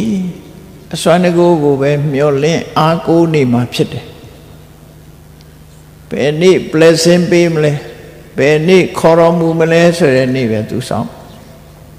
အဲ့ဒီအတွက်အားကိုးရယုံကြည်တယ်လေဒါတကူတကူတော်နဲ့ဘယ်နေ့မှမဆာတကူတော်နဲ့မဆာတော်မူပါဆိုမဆာမဲ့နေ့ပဲမျောပါလူတွေကအမျိုးမျိုးယုံကြည်မှုတွေရှိရလေတလုံးလေးပြပြီးဘိုးတော်ဝိဇာမတယ်ဆိုတာလဲယုံကြည်ကြတာပဲ ယုံနာမှအလွန်ကိုယုံကြတာသူ့လက်ကထွက်တဲ့ဂျီတောင်ရေးဖြောတောက်တယ်ဆိုတဲ့အဆင့်ထိအောင်အဲ့လောက်တည်းတော့မလုံးချနဲ့ပေါ့ဘာတကူမှမရဘူးနော်ဘာစွမ်းတတိမှရှုံကြည့်ပြီးစွမ်းရည်တတိမှန်သမျှကိုယ်ထဲမှာသာအပြည့်ရှိတယ်လို့သာမှတ်ထားအပြည့်မဲ့ကမှအတိုင်းတာတစ်ခုမှအပြည့်မှာရှိတာတော့ရှိတယ်သို့တော့ ကိုယ့်ရဲ့ရှင်တဲ့စွမ်းရည်တတိတော့ဘယ်ဟာမှမထက်ဘူးမြမလူမျိုးတွေကယုံကြည်မှုဆိုရင်အစွမ်းကိုယုံကြည်ကြတာခါတလေပြောရတယ်အဲ့တော့ယုံကြည်ပြီဆိုလို့ရှိရင်ဆရာတော်ကြီးတွေဆွညံဟင်းညံစားရင်ပဲအခုပဲတကူယောဂပျောက်တော့မယ်ထင်ပြီးတော့ ဆွညံဟင်းညံတောင်းစားယောဂတော့ပျောက်ချင်မှပျောက်မှာအဲ့ဆရာတော်ကြီးကယောဂရှိရင်ကိုယ်ကူးသွားမှာပဲဒါပဲရှိနော်အဲ့ဒါတွေကယုံကြည်စရာတွေမဟုတ်ဘူးလက်ခံစရာလည်းမဟုတ်ဘူးအဲ့ဒီပုံမှာအလေးနဲ့မထားကြနဲ့ဘာကုမှအလေးနဲ့မထားနဲ့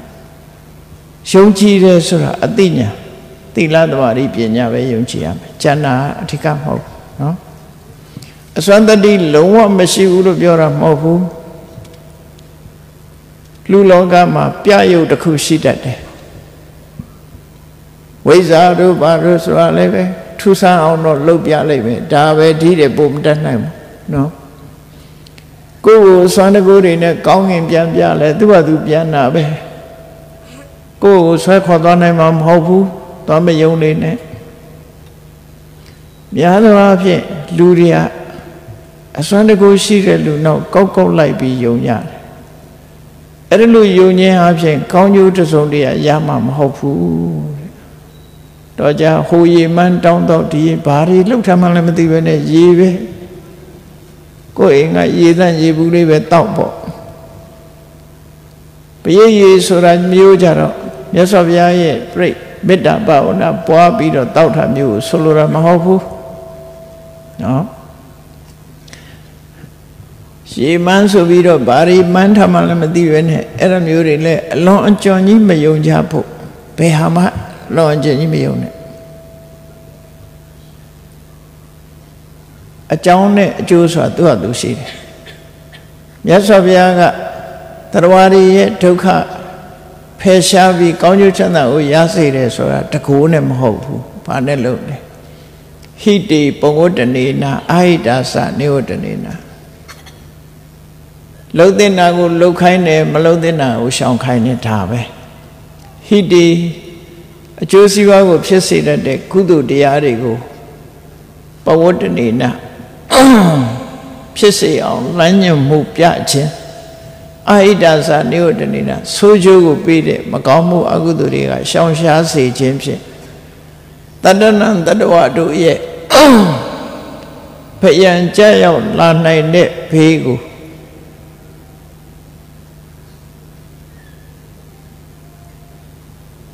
တရတိဖယ်ရှားပြပါတယ်လို့ဒီလိုဆိုတာဆာမှာလဲနော်မြတ်စွာဘုရားကတရားတွေကိုကုညီဆောင်ရှောက်တယ်ဆိုတာကောင်းကျိုးချမ်းသာတွေဖြစ်စေမဲ့အလုပ်မျိုးကိုလုပ်စေတယ်ဆိုးကျိုးကိုဖြစ်စေမဲ့အလုပ်တွေကရှောင်စေတယ်ဒါပဲကိုယ့်ကိုစဉ်းစားကြည့်လေအိမ်မှာကိုမွေးထားတဲ့ကိုသားသမီးကိုတပည့်သားမီးဘာပြောလဲမင်းဒါမလုံးနဲ့ဒါလုပ်ဒါပဲပြောတာမဟုတ်လား ဒါမလုံးနဲ့ဒါလုပ်မြတ်စွာဘုရားလည်းဒါပဲဟောတာပဲဒါကြောင့်မို့ယုံကြည်မှုဆိုသည့်နေရာမှာအတိညာကိုယုံကြည်တာဖြစ်ရမယ်အတိညာကိုယုံကြည်မှအတိညာရှိတဲ့ပုဂ္ဂိုလ်တယောက်ပြောတဲ့စကားဟာလွဲမှားမှုမရှိဘူးအစွမ်းတကူကိုသွားယုံကြည်တဲ့ပုဂ္ဂိုလ်တယောက်သည်တကုရှင်ရဲ့မမဲ့နေ့ကိုလေတမော်မော့နဲ့မျောလင့်ဆောင်းစာနေမှာပဲဖြစ်တယ် လောတိနာတွေကိုမလုပ်မလုံးတဲ့နာတွေကိုလှုပ်ခြင်းအဖြစ်သူ့မှာကောင်းကျိုးချမ်းသာရဖို့ခွင့်လန်းနေကုံဆုံးသွားနိုင်တယ်ပေါ့ဒါကြောင့်မို့တတ္ထယုံကြည်ခြင်းဆိုတာဘာကိုလဲအသိဉာဏ်ကိုယုံကြည်ရမယ်ဒါကိုဆိုလိုတယ်เนาะအဲ့ဒါယင်တဲ့နှလုံးထဲမှာအသိဉာဏ်ကိုယုံကြည်တဲ့တရားကိုယ်ယင်ထဲမှာရှိဖို့လိုတယ်တကူယုံကြည်တာမျိုးသွားမလုံးနဲ့ စွမ်းတကူယုံကြည်တာကြကိုယ်စီပါကျိုးမရမှာမဟုတ်ဘူးနော်ငပြောသီးလေးအုံသီးလေးတော့စားရင်စားမှာပေါ့အဲ့လောက်တော့နောက်တစ်ခုကဘာလို့ဆိုရင်ယုံကြည်မှုရှိပြီးတော့ကိုလှုပ်ဆောင်ရမယ့်ကိစ္စတွေနဲ့ပတ်သက်ပြီးအသိဉာဏ်ရှိတဲ့ပုဂ္ဂိုလ်ကလမ်းညွှန်မှုပေးတယ်ဘာလို့ဆိုရင် မင်းမဟုတ်တာမလုံနဲ့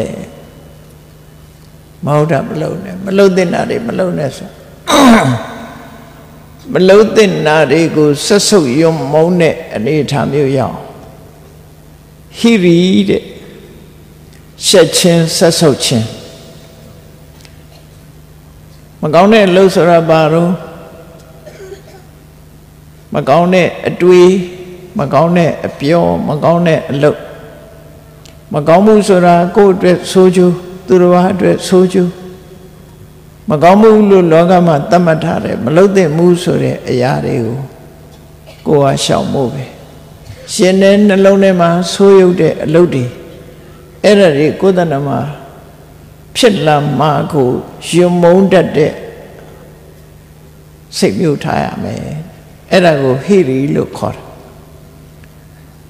စိတ်မှာဖြစ်လို့စေတသိက်တရားလို့ခေါ်တာဟိရိဆိုတာရှက်ခြင်းယုံမုန်းခြင်းဘာကိုရှင်မုန်းတာတော့မဟုတ်တာလောကမှာရှက်တယ်မဟုတ်တာလောကမှာယုံမုန်းတယ်နော်မဟုတ်တာဆိုတာဒုစရိုက်တရားတွေ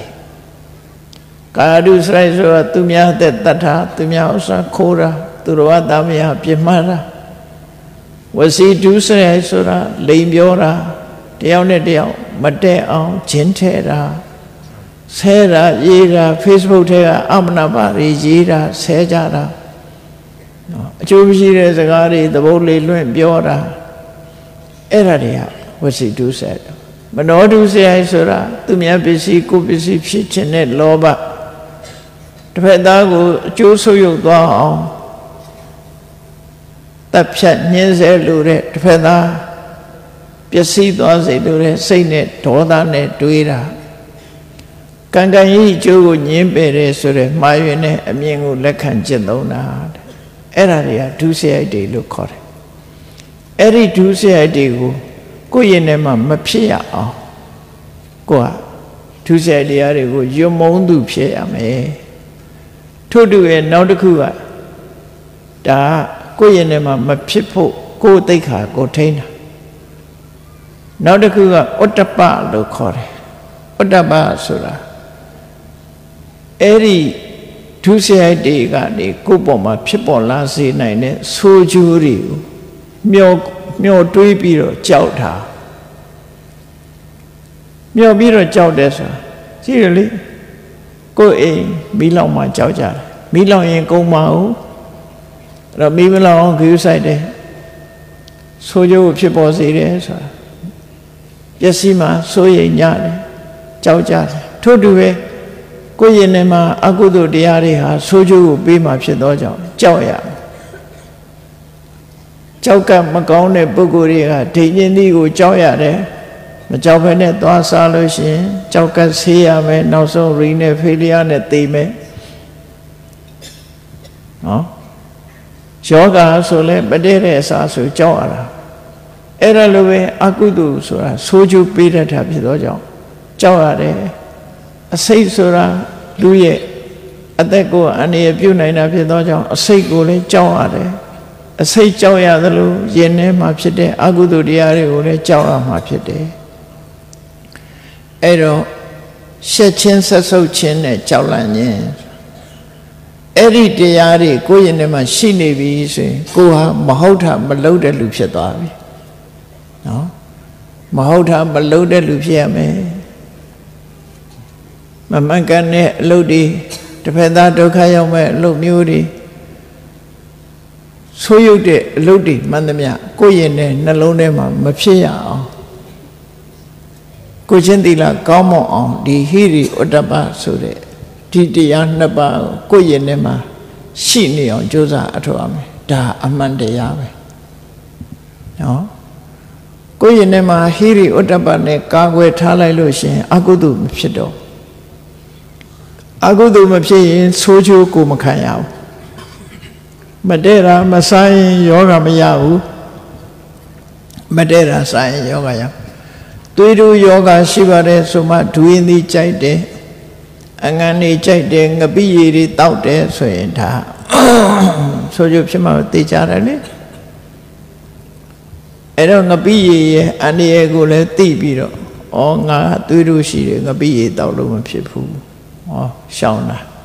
အကုသိုလ်ကိုလည်းအဲ့တိုင်းပဲရှောင်ရမယ်လို့ဆိုလို့လို့ရင်ဖြစ်မှာပဲလေမကောင်းတာဖြစ်လာမှာဒါကြောင့်မို့ဟိရိဥတ္တပဆိုတာ ကိုယ်တဏ္ဍမှာမကောင်းတာတွေမဖြစ်ရလေအောင်ရှောင်ကျဉ်မှုဒီနှစ်ခုဟာကိုယ့်အတွက်ခံတတ်တဲ့ဖွဲကိုယ့်ရဲ့နှလုံးထဲမှာထားအောင်ဒါအမှန်တရားသူများသွားအာမကိုနဲ့ကိုယ့်ရဲ့ထဲမှာဟိရိဥတ္တပဆိုတဲ့ခုခံကာကွယ်နိုင်တဲ့ကိုချင်းတရားကိုခုခံကာကွယ်နိုင်တဲ့ဒီတရားနှစ်မျိုးအတိညာကိုယုံကြည်တဲ့တတ္ထာထိုယုံကြည်မှုကိုခြေခံပြီးတော့မလုံးတဲ့နာတွေ ဆက်ဆုပ်တဲ့ဟိရိမလုံးတဲ့အကျိုးလှုပ်လို့ရလာမဲ့အကျိုးဆက်တွေကိုကြောက်တဲ့ဟိဩတ္တပဒီတရားတွေရှိခြင်းအဖြစ်ကိုဟာကိုချင်းတိလပြည့်စုံတဲ့ပုဂ္ဂိုလ်ဖြစ်ကိုရရှိသွားနိုင်တယ်တဲ့နောက်တစ်ခုကဘာလို့တော့လို့ဆိုဘဟုတ်တုတ္တ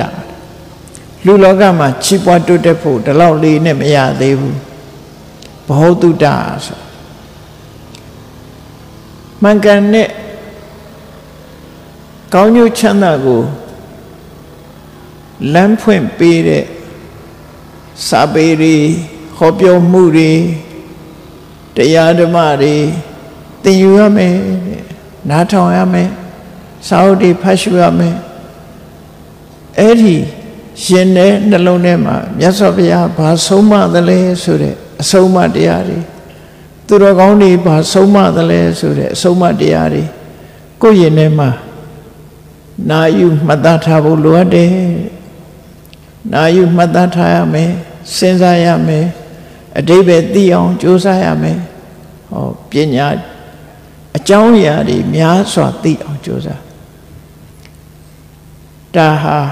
လောကကောင်းကျိုးပြုမဲ့ပညာရတွေကိုတော့တက္ကသိုလ်တွေတက်ပြီးတော့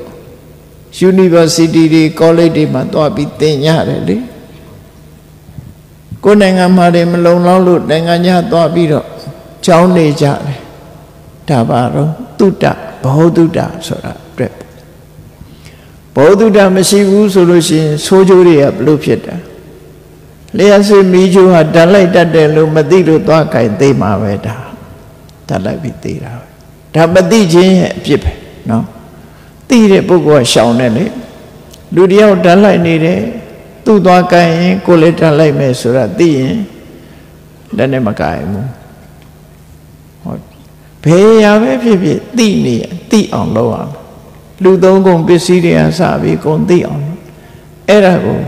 အကျိုးပြုတဲ့အကြောင်းအရာတွေမှန်သမျှသိအောင်လုပ်ရသူတော်ကောင်းတရားတွေကိုလည်းသိအောင်လုပ်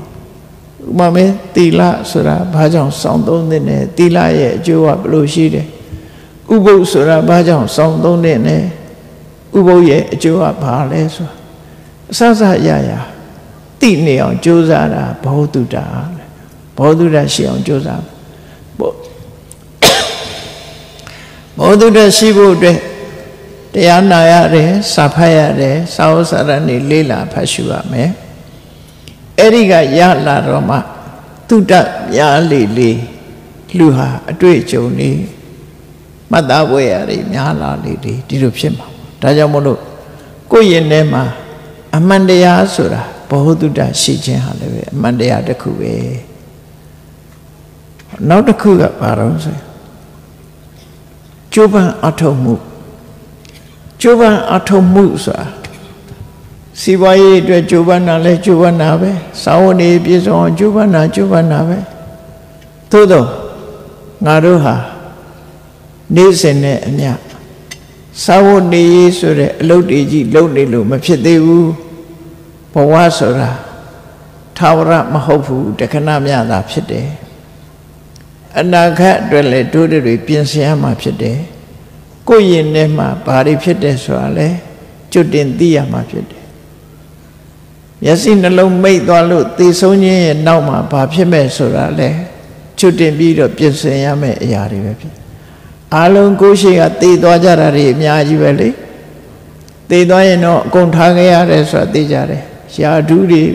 ဘလောက်အပွင့်တွေကြီးကြီးထားခဲ့ရမှာဘလောက်ယာဓုတွေကြီးကြီးထားခဲ့ပစ္စည်းဥစ္စာတွေဘလောက်ချမ်းသာချမ်းသာသေသွားရင်ထားခဲ့ဘာတစ်ခုမှယူသွားလို့မရဘူးเนาะယူသွားလို့မရ မသေးခင်စိတ်ငကကြီးဝင်းနေအောင်ပန်ထားလဲပြီးထားခဲ့ရမထားလဲဖြုတ်ယူလိုက်ကြမှာပဲဒါအဲ့တော့သေချာကိုယ်နဲ့တခုမှပါမဟုတ်ဘူးအဲ့တော့ကိုယူသွားလို့ရမယ့်ဟာကိုလည်းတစ်ဖက်ကတတိထားပြီးဆောင်ကို့မှာဘာပါတော့ဘာယူလို့ရမလဲခုနလိုရှင်ထဲမှာမှတ်တမ်းတင်လိုက်တဲ့ CP CCTV ကမှတ်တမ်းတင်ထားတဲ့ပုံရိပ်တွေသာလင်ကိုရမှာဖြစ်တယ် အဲ့တော့ကောင်းတဲ့ပုံရိပ်တွေများများစူးစောင်းဖို့လိုအပ်တယ်ပေါ့ကောင်းတဲ့ပုံရိပ်တွေများများစူးစောင်းဖို့မကောင်းတဲ့ပုံရိပ်တွေဖယ်ရှားဖို့ကြိုးစားအထောက်မှုကိုလုံလဝိရိယလို့ခေါ်တယ်ဒါကြောင့်မို့မြတ်စွာဘုရားဟောထားတဲ့တည်းပဲအာရထဝိရိယအရေးကြီးတာမင်းကြိုးစားအထောက်ရမယ်ကြိုးစားအထောက်ဆိုတဲ့နေရာမှာတကယ်ဘဝအတွက်အရေးကြီးတဲ့ကြိုးစားအထောက်မှုဆိုတာကိုယ်ရင်နဲ့နှလုံးထဲမှာ မကောင်းတဲ့စိတ်ပုတ်စိတ်ယုတ်တွေမဖြစ်အောင်ကြိုးစားအထောက်ဖြစ်လာရင်ဖယ်ရှားဖို့ကြိုးစားအထောက်ကောင်းမြတ်တဲ့မြင့်မြတ်တဲ့စိတ်နေသဘောထားတွေမဖြစ်သေးအောင်ဖြစ်အောင်ကြိုးစားအထောက်ဖြစ်ပြီးရင်တိုးတက်လာအောင်ကြိုးစားအထောက်ဥပမာမယ်ခဏခဏစိတ်တူတတ်တယ်ဒေါသထွက်တယ်ဆိုရင်အဲ့ဒီဒေါသမထွက်အောင်ကြိုးစားလက်ခံမနေနဲ့ဒေါသကိုကိုဒေါသကိုကိုကိုဟုတ်ထင်ပြီးလက်မခံနဲ့ ဒေါသလက်ခံမှများလို့ရှင်စိတ်ခဏခဏတူတဲ့လူရဲ့မျက်နှာမှန်နေမှကြည်ကြည်ပေါ့အယုတ်ဆိုးကြည်တန်တယ်နောက်ဘဝကျတော့လေအယုတ်ဆိုးကြည်တန်ငိုရွေးရွေးမရသောမျက်နှာမျိုးကြီးပိုင်ရှင်ဖြစ်သွားတတ်တယ်အဲ့ဒါအယုတ်ဆိုးကြည်တန်တဲ့မျိုးဖြစ်သွားတယ်အဲ့တော့ဒေါသဆိုတာကိုယ့်ရင်ထဲမှာကြာကြာမွေးမထားရဘူးဖြစ်လာလို့ရှိရင်နောက်မဖြစ်ရအောင်ဆိုပြီးတော့ထား မေတ္တာဆိုတဲ့တရားဟာကိုယ်တဏ္ဍမှာဖြစ်ဖူးရင်ဒီတိုးတက်များပြားလာအောင်ဘယ်သူကမှမုန်းတီးတယ်ဆိုတဲ့မจิตတဖူးဆိုတာမရှိရအောင်မေတ္တာတရားကိုတော့တိုးပေါင်းကြိုးစားခြင်းအဲ့ဒါကိုအာရဒဝိရိယပြည့်ပြည့်စုံတဲ့လုံလဝိရိယလို့ခေါ်တယ်ဒါလည်းလှုပ်တဲ့လှုပ်ထိုက်တဲ့အရာတစ်ခုဖြစ်တယ်အဲ့ဒီလိုကြိုးစားအထောက်ထားမှကိုယ်မှပုံရိပ်ကောင်းနေရ လောကလူတွေဟာပုံရိပ်မကောင်းကြတာတွေကများတယ်ဘာကြောင့်လို့ဆိုရင်လူလူချင်းဆက်ဆံတဲ့အခါမှာမေတ္တာကိုအခြေမခံနိုင်လို့ရှိရင်ဘာတွေဖြစ်ဒေါသနဲ့တကွေတွေ့မဲ့ဆိုတာတွေနဲ့ဆက်ဆံနေကြတယ်လူတယောက်ဒုက္ခရောက်အောင်လုပ်တယ်ရောက်နေတဲ့လူကိုလည်းပဲပို့ရောက်အောင်လုပ်တယ် တယောက်ကြီးပွားသွားရင်လည်းပဲမနာလိုတဲ့အိတ်သာဂျယ်လစီတွေများလာပြီးတော့လူတယောက်ပြည့်စည်အောင်လုပ်တယ်အဲ့ဒီလူစိတ်တွေသဘောထားတွေဟာမှားယွင်းနေကိုယ့်ရင်ထဲမှာဘသူ့ပေါ်ပဲဖြစ်ဖြစ်ကောင်းကျိုးလိုလားတဲ့ကြီးပွားစေခြင်းနဲ့မေတ္တာရှိရအဲ့ဒီမေတ္တာအခြေခံပြီးကိုကဘသူ့ပေါ်မှာပဲဖြစ်ဖြစ်မေတ္တာထားနိုင်ပြီကိုထားတဲ့ပုဂ္ဂိုလ် မေတ္တာထားတော်လဲပုဂ္ဂိုလ်တူတယောက်ဟာခက်ခဲတွေကြုံလို့ဒုက္ခတွေတွေ့နေတယ်ဆိုရင်အကျဉ်းနာဆိုတဲ့ကရုဏာထားနိုင်အောင်မထားနိုင်ရင်ချင်းထည့်ပြီးတွန့်ပစ်တာမျိုးဖြစ်တတ်တယ်အဲကိုချီးပွားစေခြင်းတဲ့ပုဂ္ဂိုလ်တယောက်ဟာသူစ조사လို့ဖြစ်စေခွင့်ရေးကောင်းလို့ဖြစ်စေကြီးပွားတိုးတက်သွားလို့ရှိရင် jealousy မဖြစ်နဲ့ appreciative joy ဆိုတာနော် သူစာနာထောက်ထားပြီးတော့ဝမ်းမြောက်ဝမ်းသာဖြစ်နေရမယ်လူတယောက်အောင်မြင်သွားရင် congratulation လုံးနိုင်ရမယ်နော်မခေါ်နိုင်မပြောနိုင်မဖြစ်စေရအောင်မြင်သွားရင်ဝမ်းသာပါတယ်လို့ပြောနိုင်ရတကယ်လဲဝမ်းသာရအဲ့လိုမဟုတ်လို့ရှိရင် jealousy ဖြစ်တယ်နောက်တစ်ခါလူတူတယောက်ရဲ့အပြစ်အနာစာကိုတိမှတ်ထားလို့ရှိရင် တိခဏ်ချင်းခွင့်လွှတ်ခြင်းဆိုတာမရှိရင်တကွေးတွေ့မယ်ဆိုတဲ့ဟာနဲ့တွေ့လဲတွေ့ရောလောက်တာမဟုတ်တာလောက်တတ်တယ်အဲ့ဒါကြောင့်မို့ဥပိ္ပခာဆိုတဲ့သူ့ရဲ့အပြစ်ပေါ်မှာလင်းလူရှုထားပြီးတိခဏ်ချင်းခွင့်လွှတ်ခြင်းနဲ့ဆက်ဆံကျင့်သုံးမှုနေထိုင်ရမယ်လို့သူတို့ဆိုလိုတယ်အဲ့တော့ဒီတရား၄ပါးဟာလူကိုမြင့်မြတ်စေတတ်တဲ့တရား ဖြစ်သောကြောင့်ပြမဖြစ်မစို့တရားမြင့်မြတ်တဲ့နေထိုင်ခြင်းဖြစ်သောကြောင့်ပြမဝိဟာရတရားလို့တမန်တရားမဟုတ်ဘူးမေတ္တာကရုဏာမုရိဒဥပေက္ခဖះလောင်းနေဟာမေတ္တာပါရမီဖြည့်ရတယ်ဥပေက္ခပါရမီဖြည့်ရတယ်ဒါမှဖះဖြစ်တယ်အဲ့တော့မေတ္တာနဲ့လေးကျင့်ဥပေက္ခလေးကျင့် တစ်ဖက်သားပေါ်မှာအဲ့ဒီမွန်မြတ်တဲ့စိတ်နေသဘောထားတွေထားနိုင်အောင်ကြိုးစားအထုတ်ခြင်းဆိုတဲ့လုံလဝိရိယလောက်အောင်မှာဖြစ်တယ်မဖြစ်ဖြစ်အောင်ကြိုးစားတာလောက်အောင်အဲ့ဒါဟာမှန်ကန်တဲ့တရားတစ်ခုပဲမကြိုးစားရင်ဘာတစ်ခုမှမရဘူးအေးစာဝတ်နေရေးတစ်ခုတည်းပဲကြိုးစားနေရင်စားသမျှကပဲရောက်သွားတော့နောက်ဆုံးမှတွိုင်းလက်ထဲမှာသွားဆောင် အလုံးဟာကိုရှာတဲ့ပစ္စည်းတွေဒီထားခဲ့ရတဲ့ပစ္စည်းတွေကြီးပဲဖြစ်တယ်ကိုယ့်အတွက်ဘာမှပါမသွားဘူးဒါကြောင့်ပါသွားမဲ့အတွက်လည်းပဲကြိုးစားရမယ်လို့ဆိုလို့တယ်အကုသိုလ်ကိုရှောင်ဖို့ကြိုးစားရမယ်ကုသိုလ်လုပ်ဖို့ကြိုးစားရမယ်ဒီကြိုးစားမှုနှစ်ခုမပါမဖြစ်အောင်ကြိုးစားအထောက်ဖို့လိုအပ်တယ်ဒါမှကိုယ့်အတွက်ချမ်းသာဒုက္ခဆိုတာရနောက်တစ်ခုကဘာလို့ဆိုတတိ ခုနပြောရတဲ့ mindfulness အာယုံစူးစိုက်မှုဆိုတဲ့တတိဟာရှိရအာယုံစူးစိုက်မှုတတိမရှိရင်ဘာတစ်ခုမှကိုရလိုက်မှာမဟုတ်ဘူးနော်အရာရာကိုတတိမထားတတ်တဲ့ပုဂ္ဂိုလ်တယောက်ဟာပညာဆိုတာလည်းဖြစ်မလားပညာဆိုတာတတိရှိမှဖြစ်တယ်တတိမရှိရင်မဖြစ်ဘူးတတိကဘာနဲ့တူတော့ဆိုရင် မှန်နဲ့အလားတရံတူတယ်လူတွေဟာကိုယ့်မျက်နှာမှာဘာရှိတယ်မရှိဘူးဆိုတာမှန်ထောင်ကြည့်မှသိတယ်ထို့တူပဲကိုယ်တဏ္ဍမှာကိုယ်စိတ်ထဲမှာဘာတွေဖြစ်တယ်ဆိုတာကိုသိဖို့အတွက်တတိရှိမှသိတယ်နော်ဒါကြောင့်တတိတတိနဲ့မှန်ထောင်ကြည့်တယ်လို့တတိနဲ့စူးစိုက်မှုလုပ်ရမယ်ပြီးပြီဆိုတဲ့အခါမှာ ပညာနဲ့ဆင်ခြင်သုံးသပ်မှုဆိုတာလာတယ်တတိက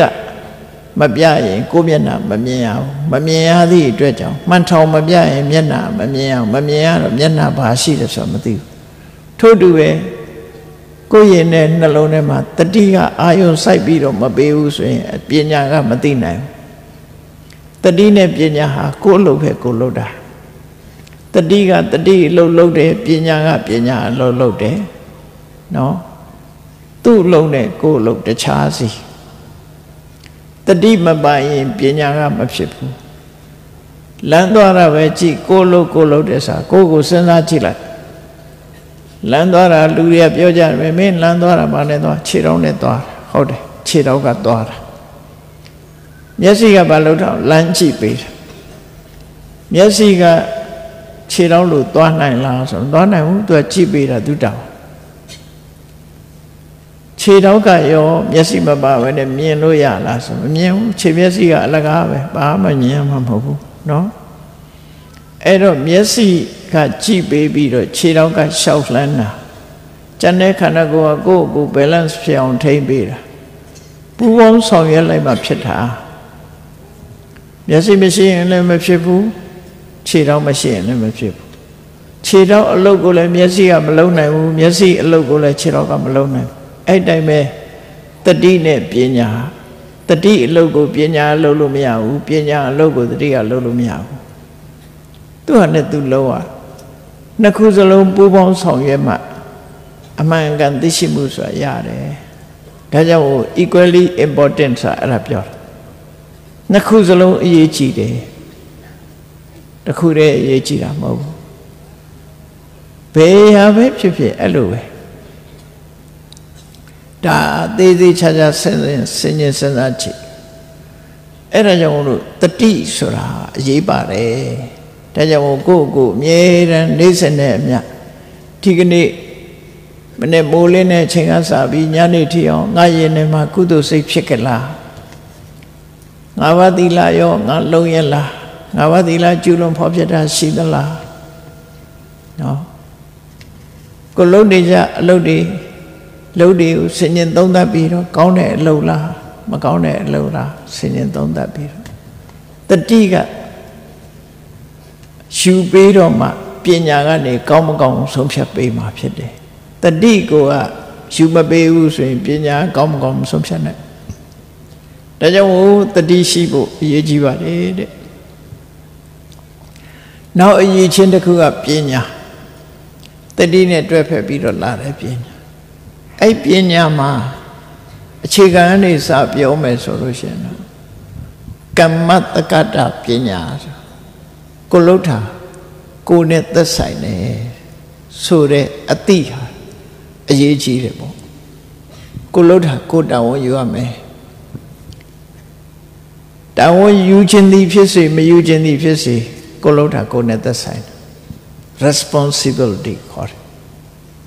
နော် ကိုတခုဘိုင်းနာတဲ့အစားအစာစားလိုက်ရင်ဒီပြင်လူသွားဘိုင်းနာမှာမဟုတ်ဘူးကိုယ်ပဲနာမှာပဲ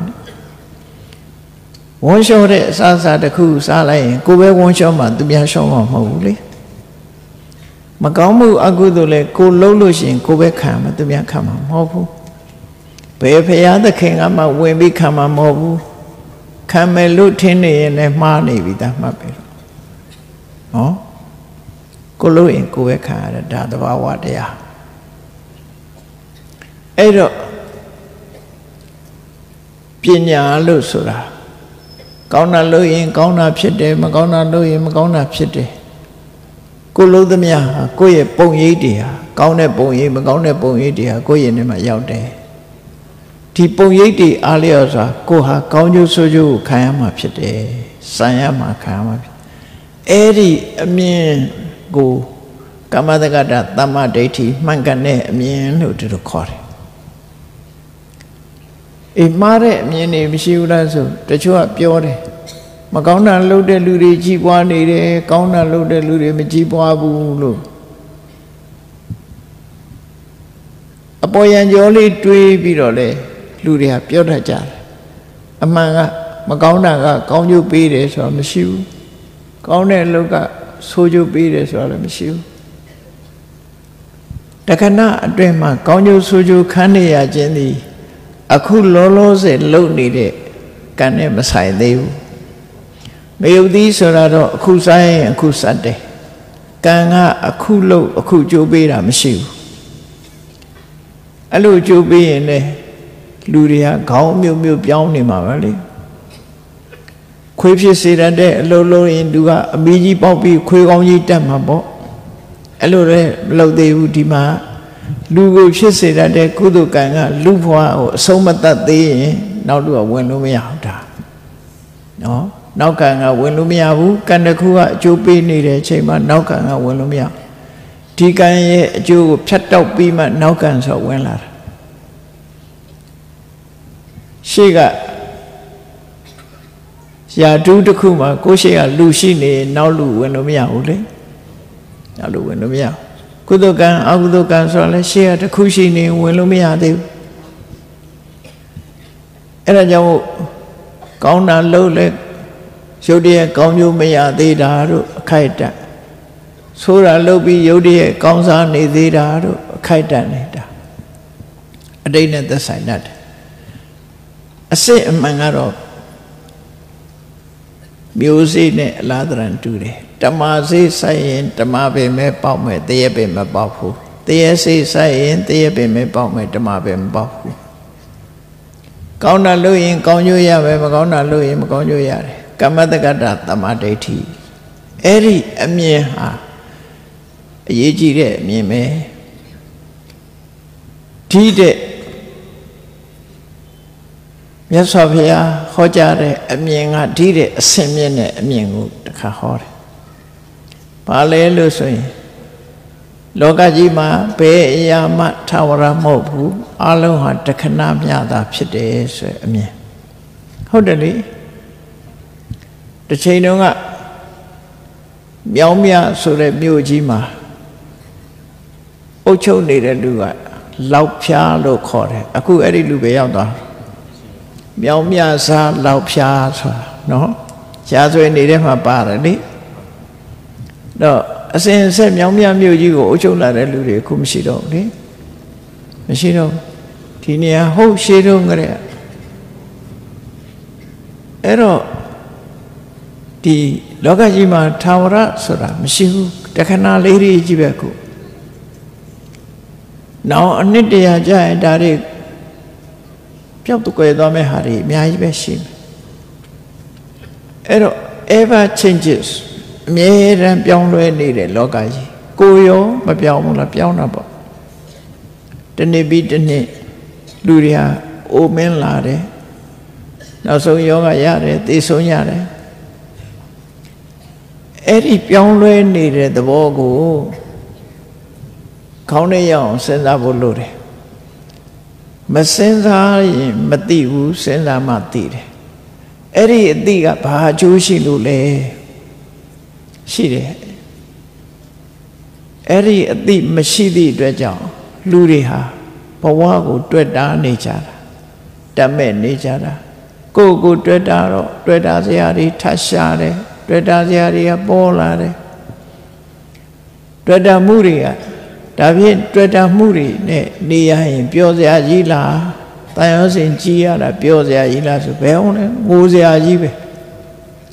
တန်ရောစင်ကြောင်းပြုတ်ပြီးရင်ထဲမှာပူစာတဲ့တောကဖြစ်ရတဲ့ငိုရတယ်ဆိုတာတန်ရောစင်တွေ့တာမှုကိုကြောင်းပြုတ်တာတွေ့တာမှုချီလီလီတောကချီလီလီတောကဆိုတာရင်ထဲကပူလောင်နေတဲ့အရာတခုစိတ်ခံစားမှုပြင်းထန်တဲ့အရာအဲ့ဒါဟာတွေ့တာမှုကလာတာ အဲ့ဒီတွေ့တာမှုဆိုတဲ့အရာကိုဘာနဲ့ဖြတ်ရမလဲဆိုရင်ဘဝဆိုတာထာဝရမဟုတ်ဘူးတခဏမြတာဖြစ်တယ်အလုံးဟာပြောင်းလဲနေတဲ့အရာဖြစ်လို့ထုတွေတွေဟာတွေ့တာနေလို့မဖြစ်ဘူးဆိုတဲ့အတိဟာဝိပဿနာဉာဏ်အတိဟာတွေ့တာမှုကိုဖယ်ရှားနိုင်တဲ့အတိပဲအဲ့ဒီအတိရှိမှတွေ့တာမှုကိုရှော့ချနိုင်မယ်တွေ့တာမှုကိုရှော့ချနိုင်မှရင်ထဲကတောကဆိုတာရှော့ချနိုင်တယ် အဲ့ဒီလိုအတိမှမရှိဘူးဆိုလို့ရှိရင်တော့ရှင်ထဲကတောကတွေ့တာမှုတွေလောဘများနေတဲ့အခါမှာလူတွေဟာတန်တရားဝကလွတ်နိုင်စွာမရှိဘူးဒီထဲမှာပဲတွေ့လိုက်တောကဖြစ်လိုက်နဲ့အဖြေမထုတ်နိုင်ပဲနဲ့ထွက်ပေါက်မရပဲနဲ့တဝဲလဲလဲဖြစ်နေနိုင်တယ်တဲ့ဒါကြောင့်မို့နောက်ဆုံးမှာကိုယ့်ရဲ့ထဲမှာရှိရမယ့်တရားကတော့ပညာပဲ အဲ့ဒီပညာဟာဝိပဿနာပညာလို့ခေါ်တယ်ဝိပဿနာသူများနဲ့မတူတဲ့အမြင်သို့မဟုတ်ထူးခြားတဲ့အမြင်မတူတဲ့အမြင်ဆိုတာတာမန်လူတွေကထာဝရလို့မြင်တယ်ကိုကထာဝရလို့မမြင်ဘူး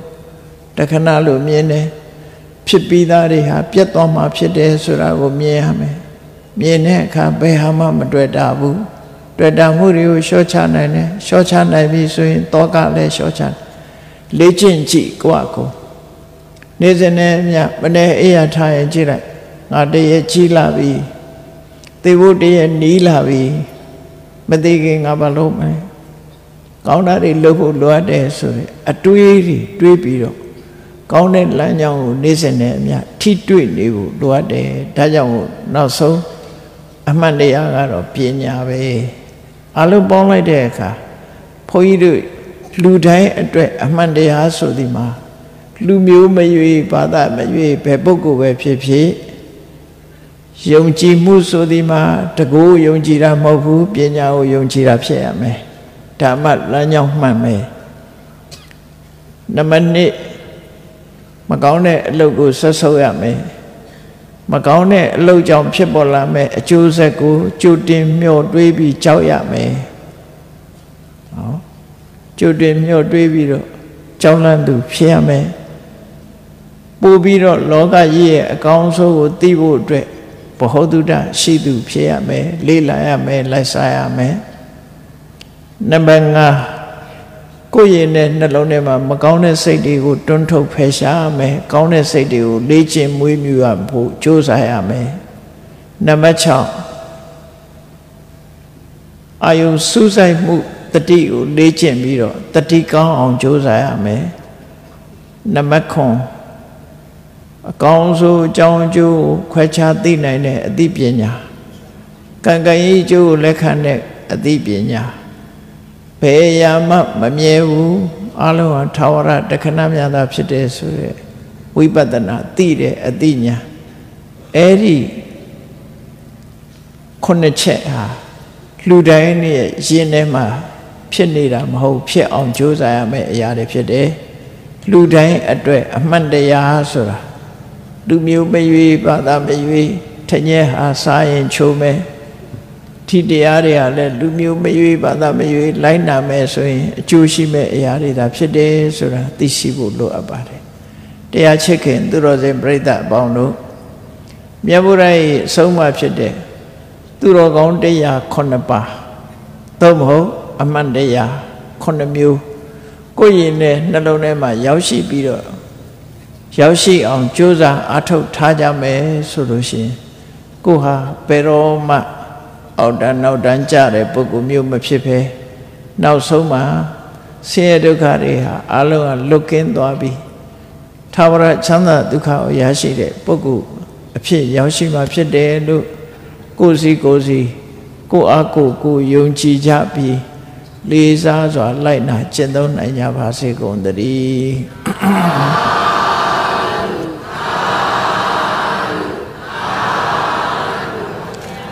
မေတ္တာပို့ရအောင်တတဝများစွာဖိယံကွာချမ်းသာကြပါစေတတဝများစွာဖိယံကွာ ချမ်းသာကြပါစေမေတ္တာရည်ချမ်းသုံးငါဖြံငြိမ်းချမ်းကြပါစေမေတ္တာရည်ချမ်းသုံးငါဖြံငြိမ်းချမ်းကြပါစေသက်ရှိချမ်းမာစိတ်ချမ်းသာ လူရဆန္ဒပြေပါစေသက်ရှိချမ်းမာစိတ်ချမ်းသာလူရဆန္ဒပြေပါစေဓမ္မောတရံပိဝေတဝနာဝိတာတပိတမှုဟတာအာဇရမရာတိတိဘာဝနိဗ္ဗာနံယန္တုတာရော ဓမ္မောတရံလောဘဒေါသမောဟစိတ်တို့ကင်းပြော့ကြည်အေးတရားစေကိုပိဝိတဝဝန္တာရွှင်ပြတောက်ကြရနာကြရကုန်သောကြောင့်ဝိသတဗေပုသညင်တော်ကိလေသာဆေရတောက်ဟုသမျှတို့သည်သမုဟတပိဉ္ကြဘက်တွင် ရေမတင်တဲ့ကဲ့သို့ကင်းစင်လွင်ပြောင်းပေမရောက်အောင်ပဲဖြောင်းအကုန်သည်ဟောတုစင်စစ်မသွေဖြစ်ကြပါစေကုန်သတည်း အစရမရံအိုခြင်းလဲကွာနာခြင်းလဲကင်းသိခြင်းလဲရှင်းထသောတိတိဘောင်ကိလေသာဟုပုခတ်သိကင်းကြီးရာအစစ်ဖြစ်ပေထသောနိဗ္ဗာန်နိဗ္ဗာန်ဟုခေါ်အေးမြုတော်သို့သာရောတရားချစ်ခင်စိတ်ကောင်းဝိညာသူတော်စင်များတို့သည်ရှန္တုပါရမီအစဉ်စဉ်မြင့်နဲ့မြင့်၍ မလင့်ပုံသေးဆက်ရောက်တော်မူကြပါစေကုန်တည်း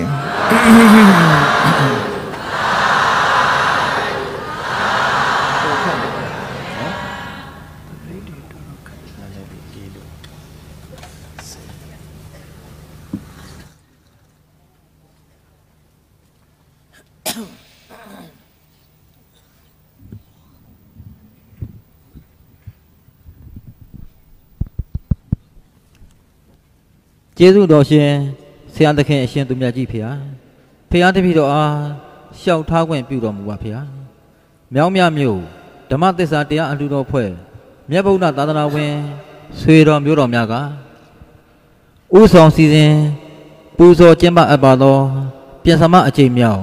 တရားအလှူပေးပွဲတော်၌ဖေဟာရှင်ကိုတော်မြတ်ကြီးအားဥထိတ်ထားလျက်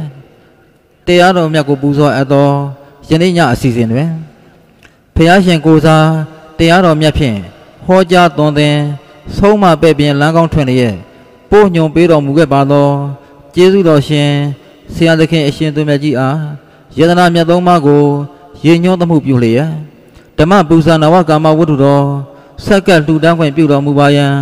ဖျားတပည့်တော်ယိုသေးစွာဖြင့်လျှောက်ထားအပ်ပါသည်ဆရာသခင်အရှင်သူမြတ်ကြီးဖေဟာ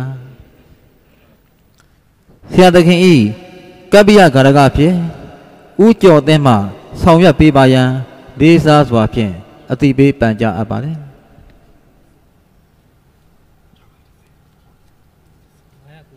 990 920ထပ်ပေါင်းတယ်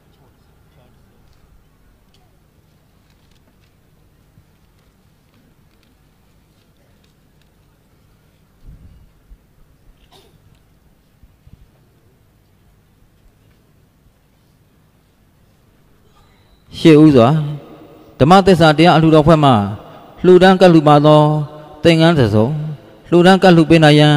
ဓမ္မသစ္စာတရားအလှူတော်ဖွဲ့မှကိုစရာမောင်နှင့်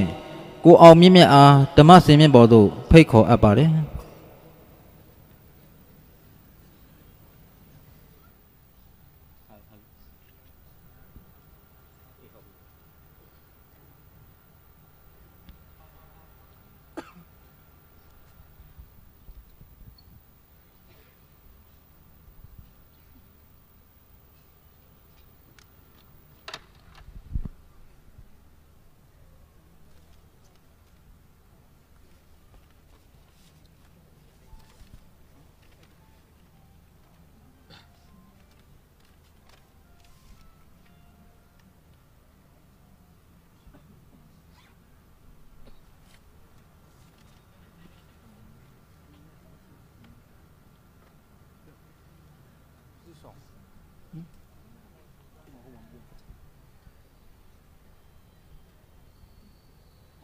ဘာဟုတ်ကဲ့ဘာမှမသိဘူးလေ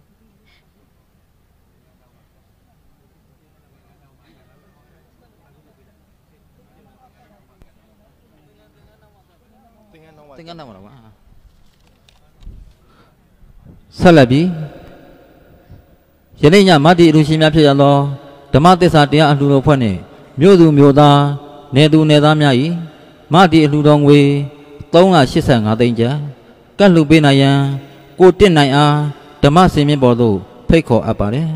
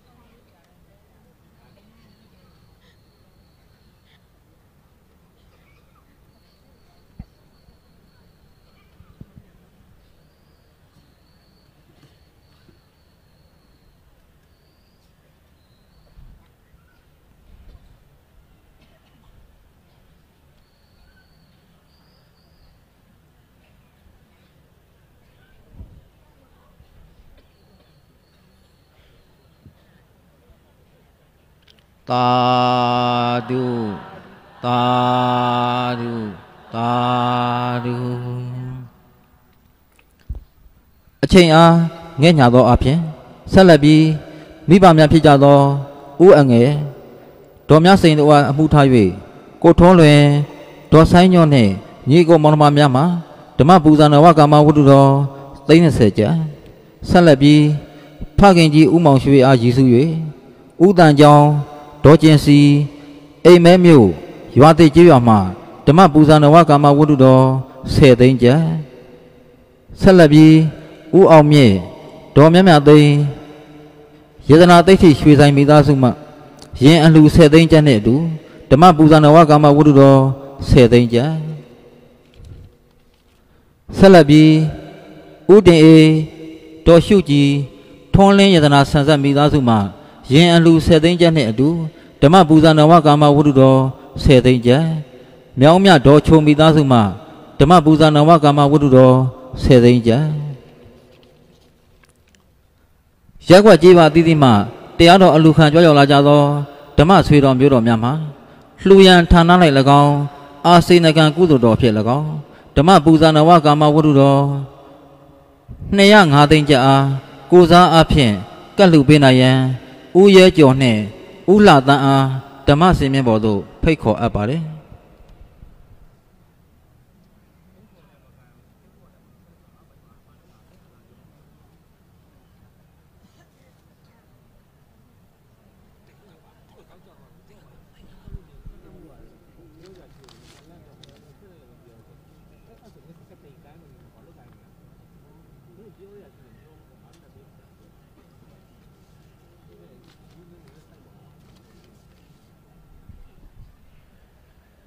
သာဓုသာဓုသာဓု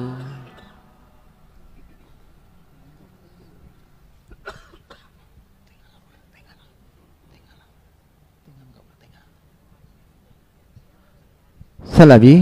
မြောင်းမြမြို့ဓမ္မသစ္စာတရားအလှူတော်ဖွဲ့မှသင်္ကန်းတစ်စုံလှူဒန်းကတ်လှူပေးနိုင်ရန်ကိုစရာမောင်နှင့်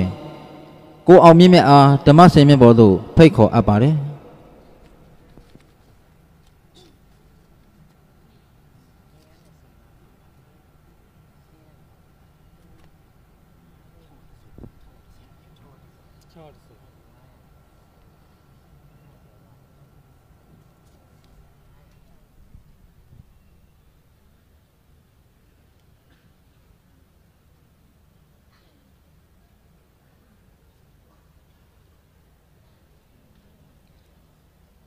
သာဓုသာဓုသာဓုဆရာသခင်အရှင်မြတ်ကြီးဖေဟာဖေဟာတပည့်တော်အားလျှောက်ထားခွင့်ပြုတော်မူပါဖေဟာကျေးဇူးတော်ရှင်ဆရာသခင်အရှင်သူမြတ်ကြီးဖေဟာ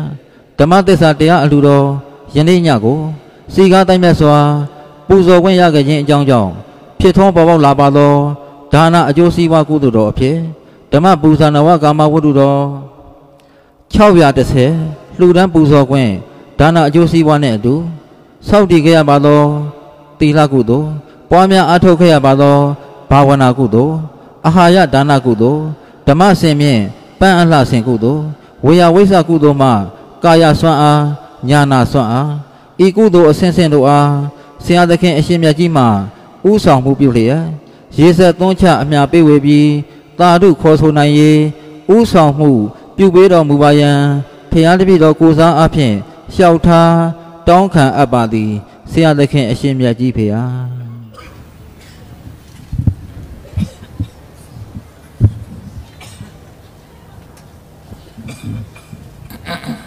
အားလုံးဆိုကြမယ်အရှင်ဖေယရှင်ဖေယဘုရားတပည့်တော်တို့သည်ဓမ္မအတိညာ ရရှိမှသာလင်နိဗ္ဗာန်ချမ်းသာကိုမျက်မှောက်ပြုနိုင်ပါသောကြောင့်ဓမ္မအတိညာရရှိစေရန်ရှိတန်ကြလျက်ဓမ္မသဘင်ဆင်းရင်ခြင်းပါပြုလုပ်ကြ၍အမတဒါနာ ဓမ္မဒါနာတရားအလှူတော်ကိုပေးလူကြပါကုန်၏တရားတော်မြတ်ကိုယုသိလေးမြတ်စွာမမတ်သာသာအာယုထားလျက်နာကြားကြပါကုန်၏တရားတော်မြတ်ကိုတတဗဝတ္ထု အစုစုတို့ဖြင့်ပူဇော်ကြပါကုန်၏ယနေ့ယခုအာထုတ်ပြုလုပ်ကြရသောတရားဟောရခြင်းဓမ္မဒေသနာတရားနာရခြင်းဓမ္မတဝနာတရားတော်ကိုပေးလူရခြင်း ဓမ္မဒါနာတရားတော်ကိုပူဇော်ရခြင်းဓမ္မပူဇာကုသိုလ်စေရနာအဖျားဖျားတို့သည်ဒုက္ခခတ်သိချုပ်ငြိမ်းရမှန်မြတ်နိဗ္ဗာန်ဤအကြောင်းအထောက်ပံ့ဖြစ်ပါစေသာ အရှင်ဖေယဤကမှုဤအဖို့ဘာကကိုအမိအဖအဖို့အဖွာဆရာသမားမဆ၍ကဘာသူကဘာသာဒုနပြမတတဝမြတ်တို့အားအမြအမြ ဝေငှပါကုန်၏ကုသိုလ်အမြတ်ကိုတိယကြကုန်သည်ဖြစ်၍ကိုစိတ်နှဖြာချမ်းသာကြသည်ဖြစ်ကြပါစေကုန်သတည်း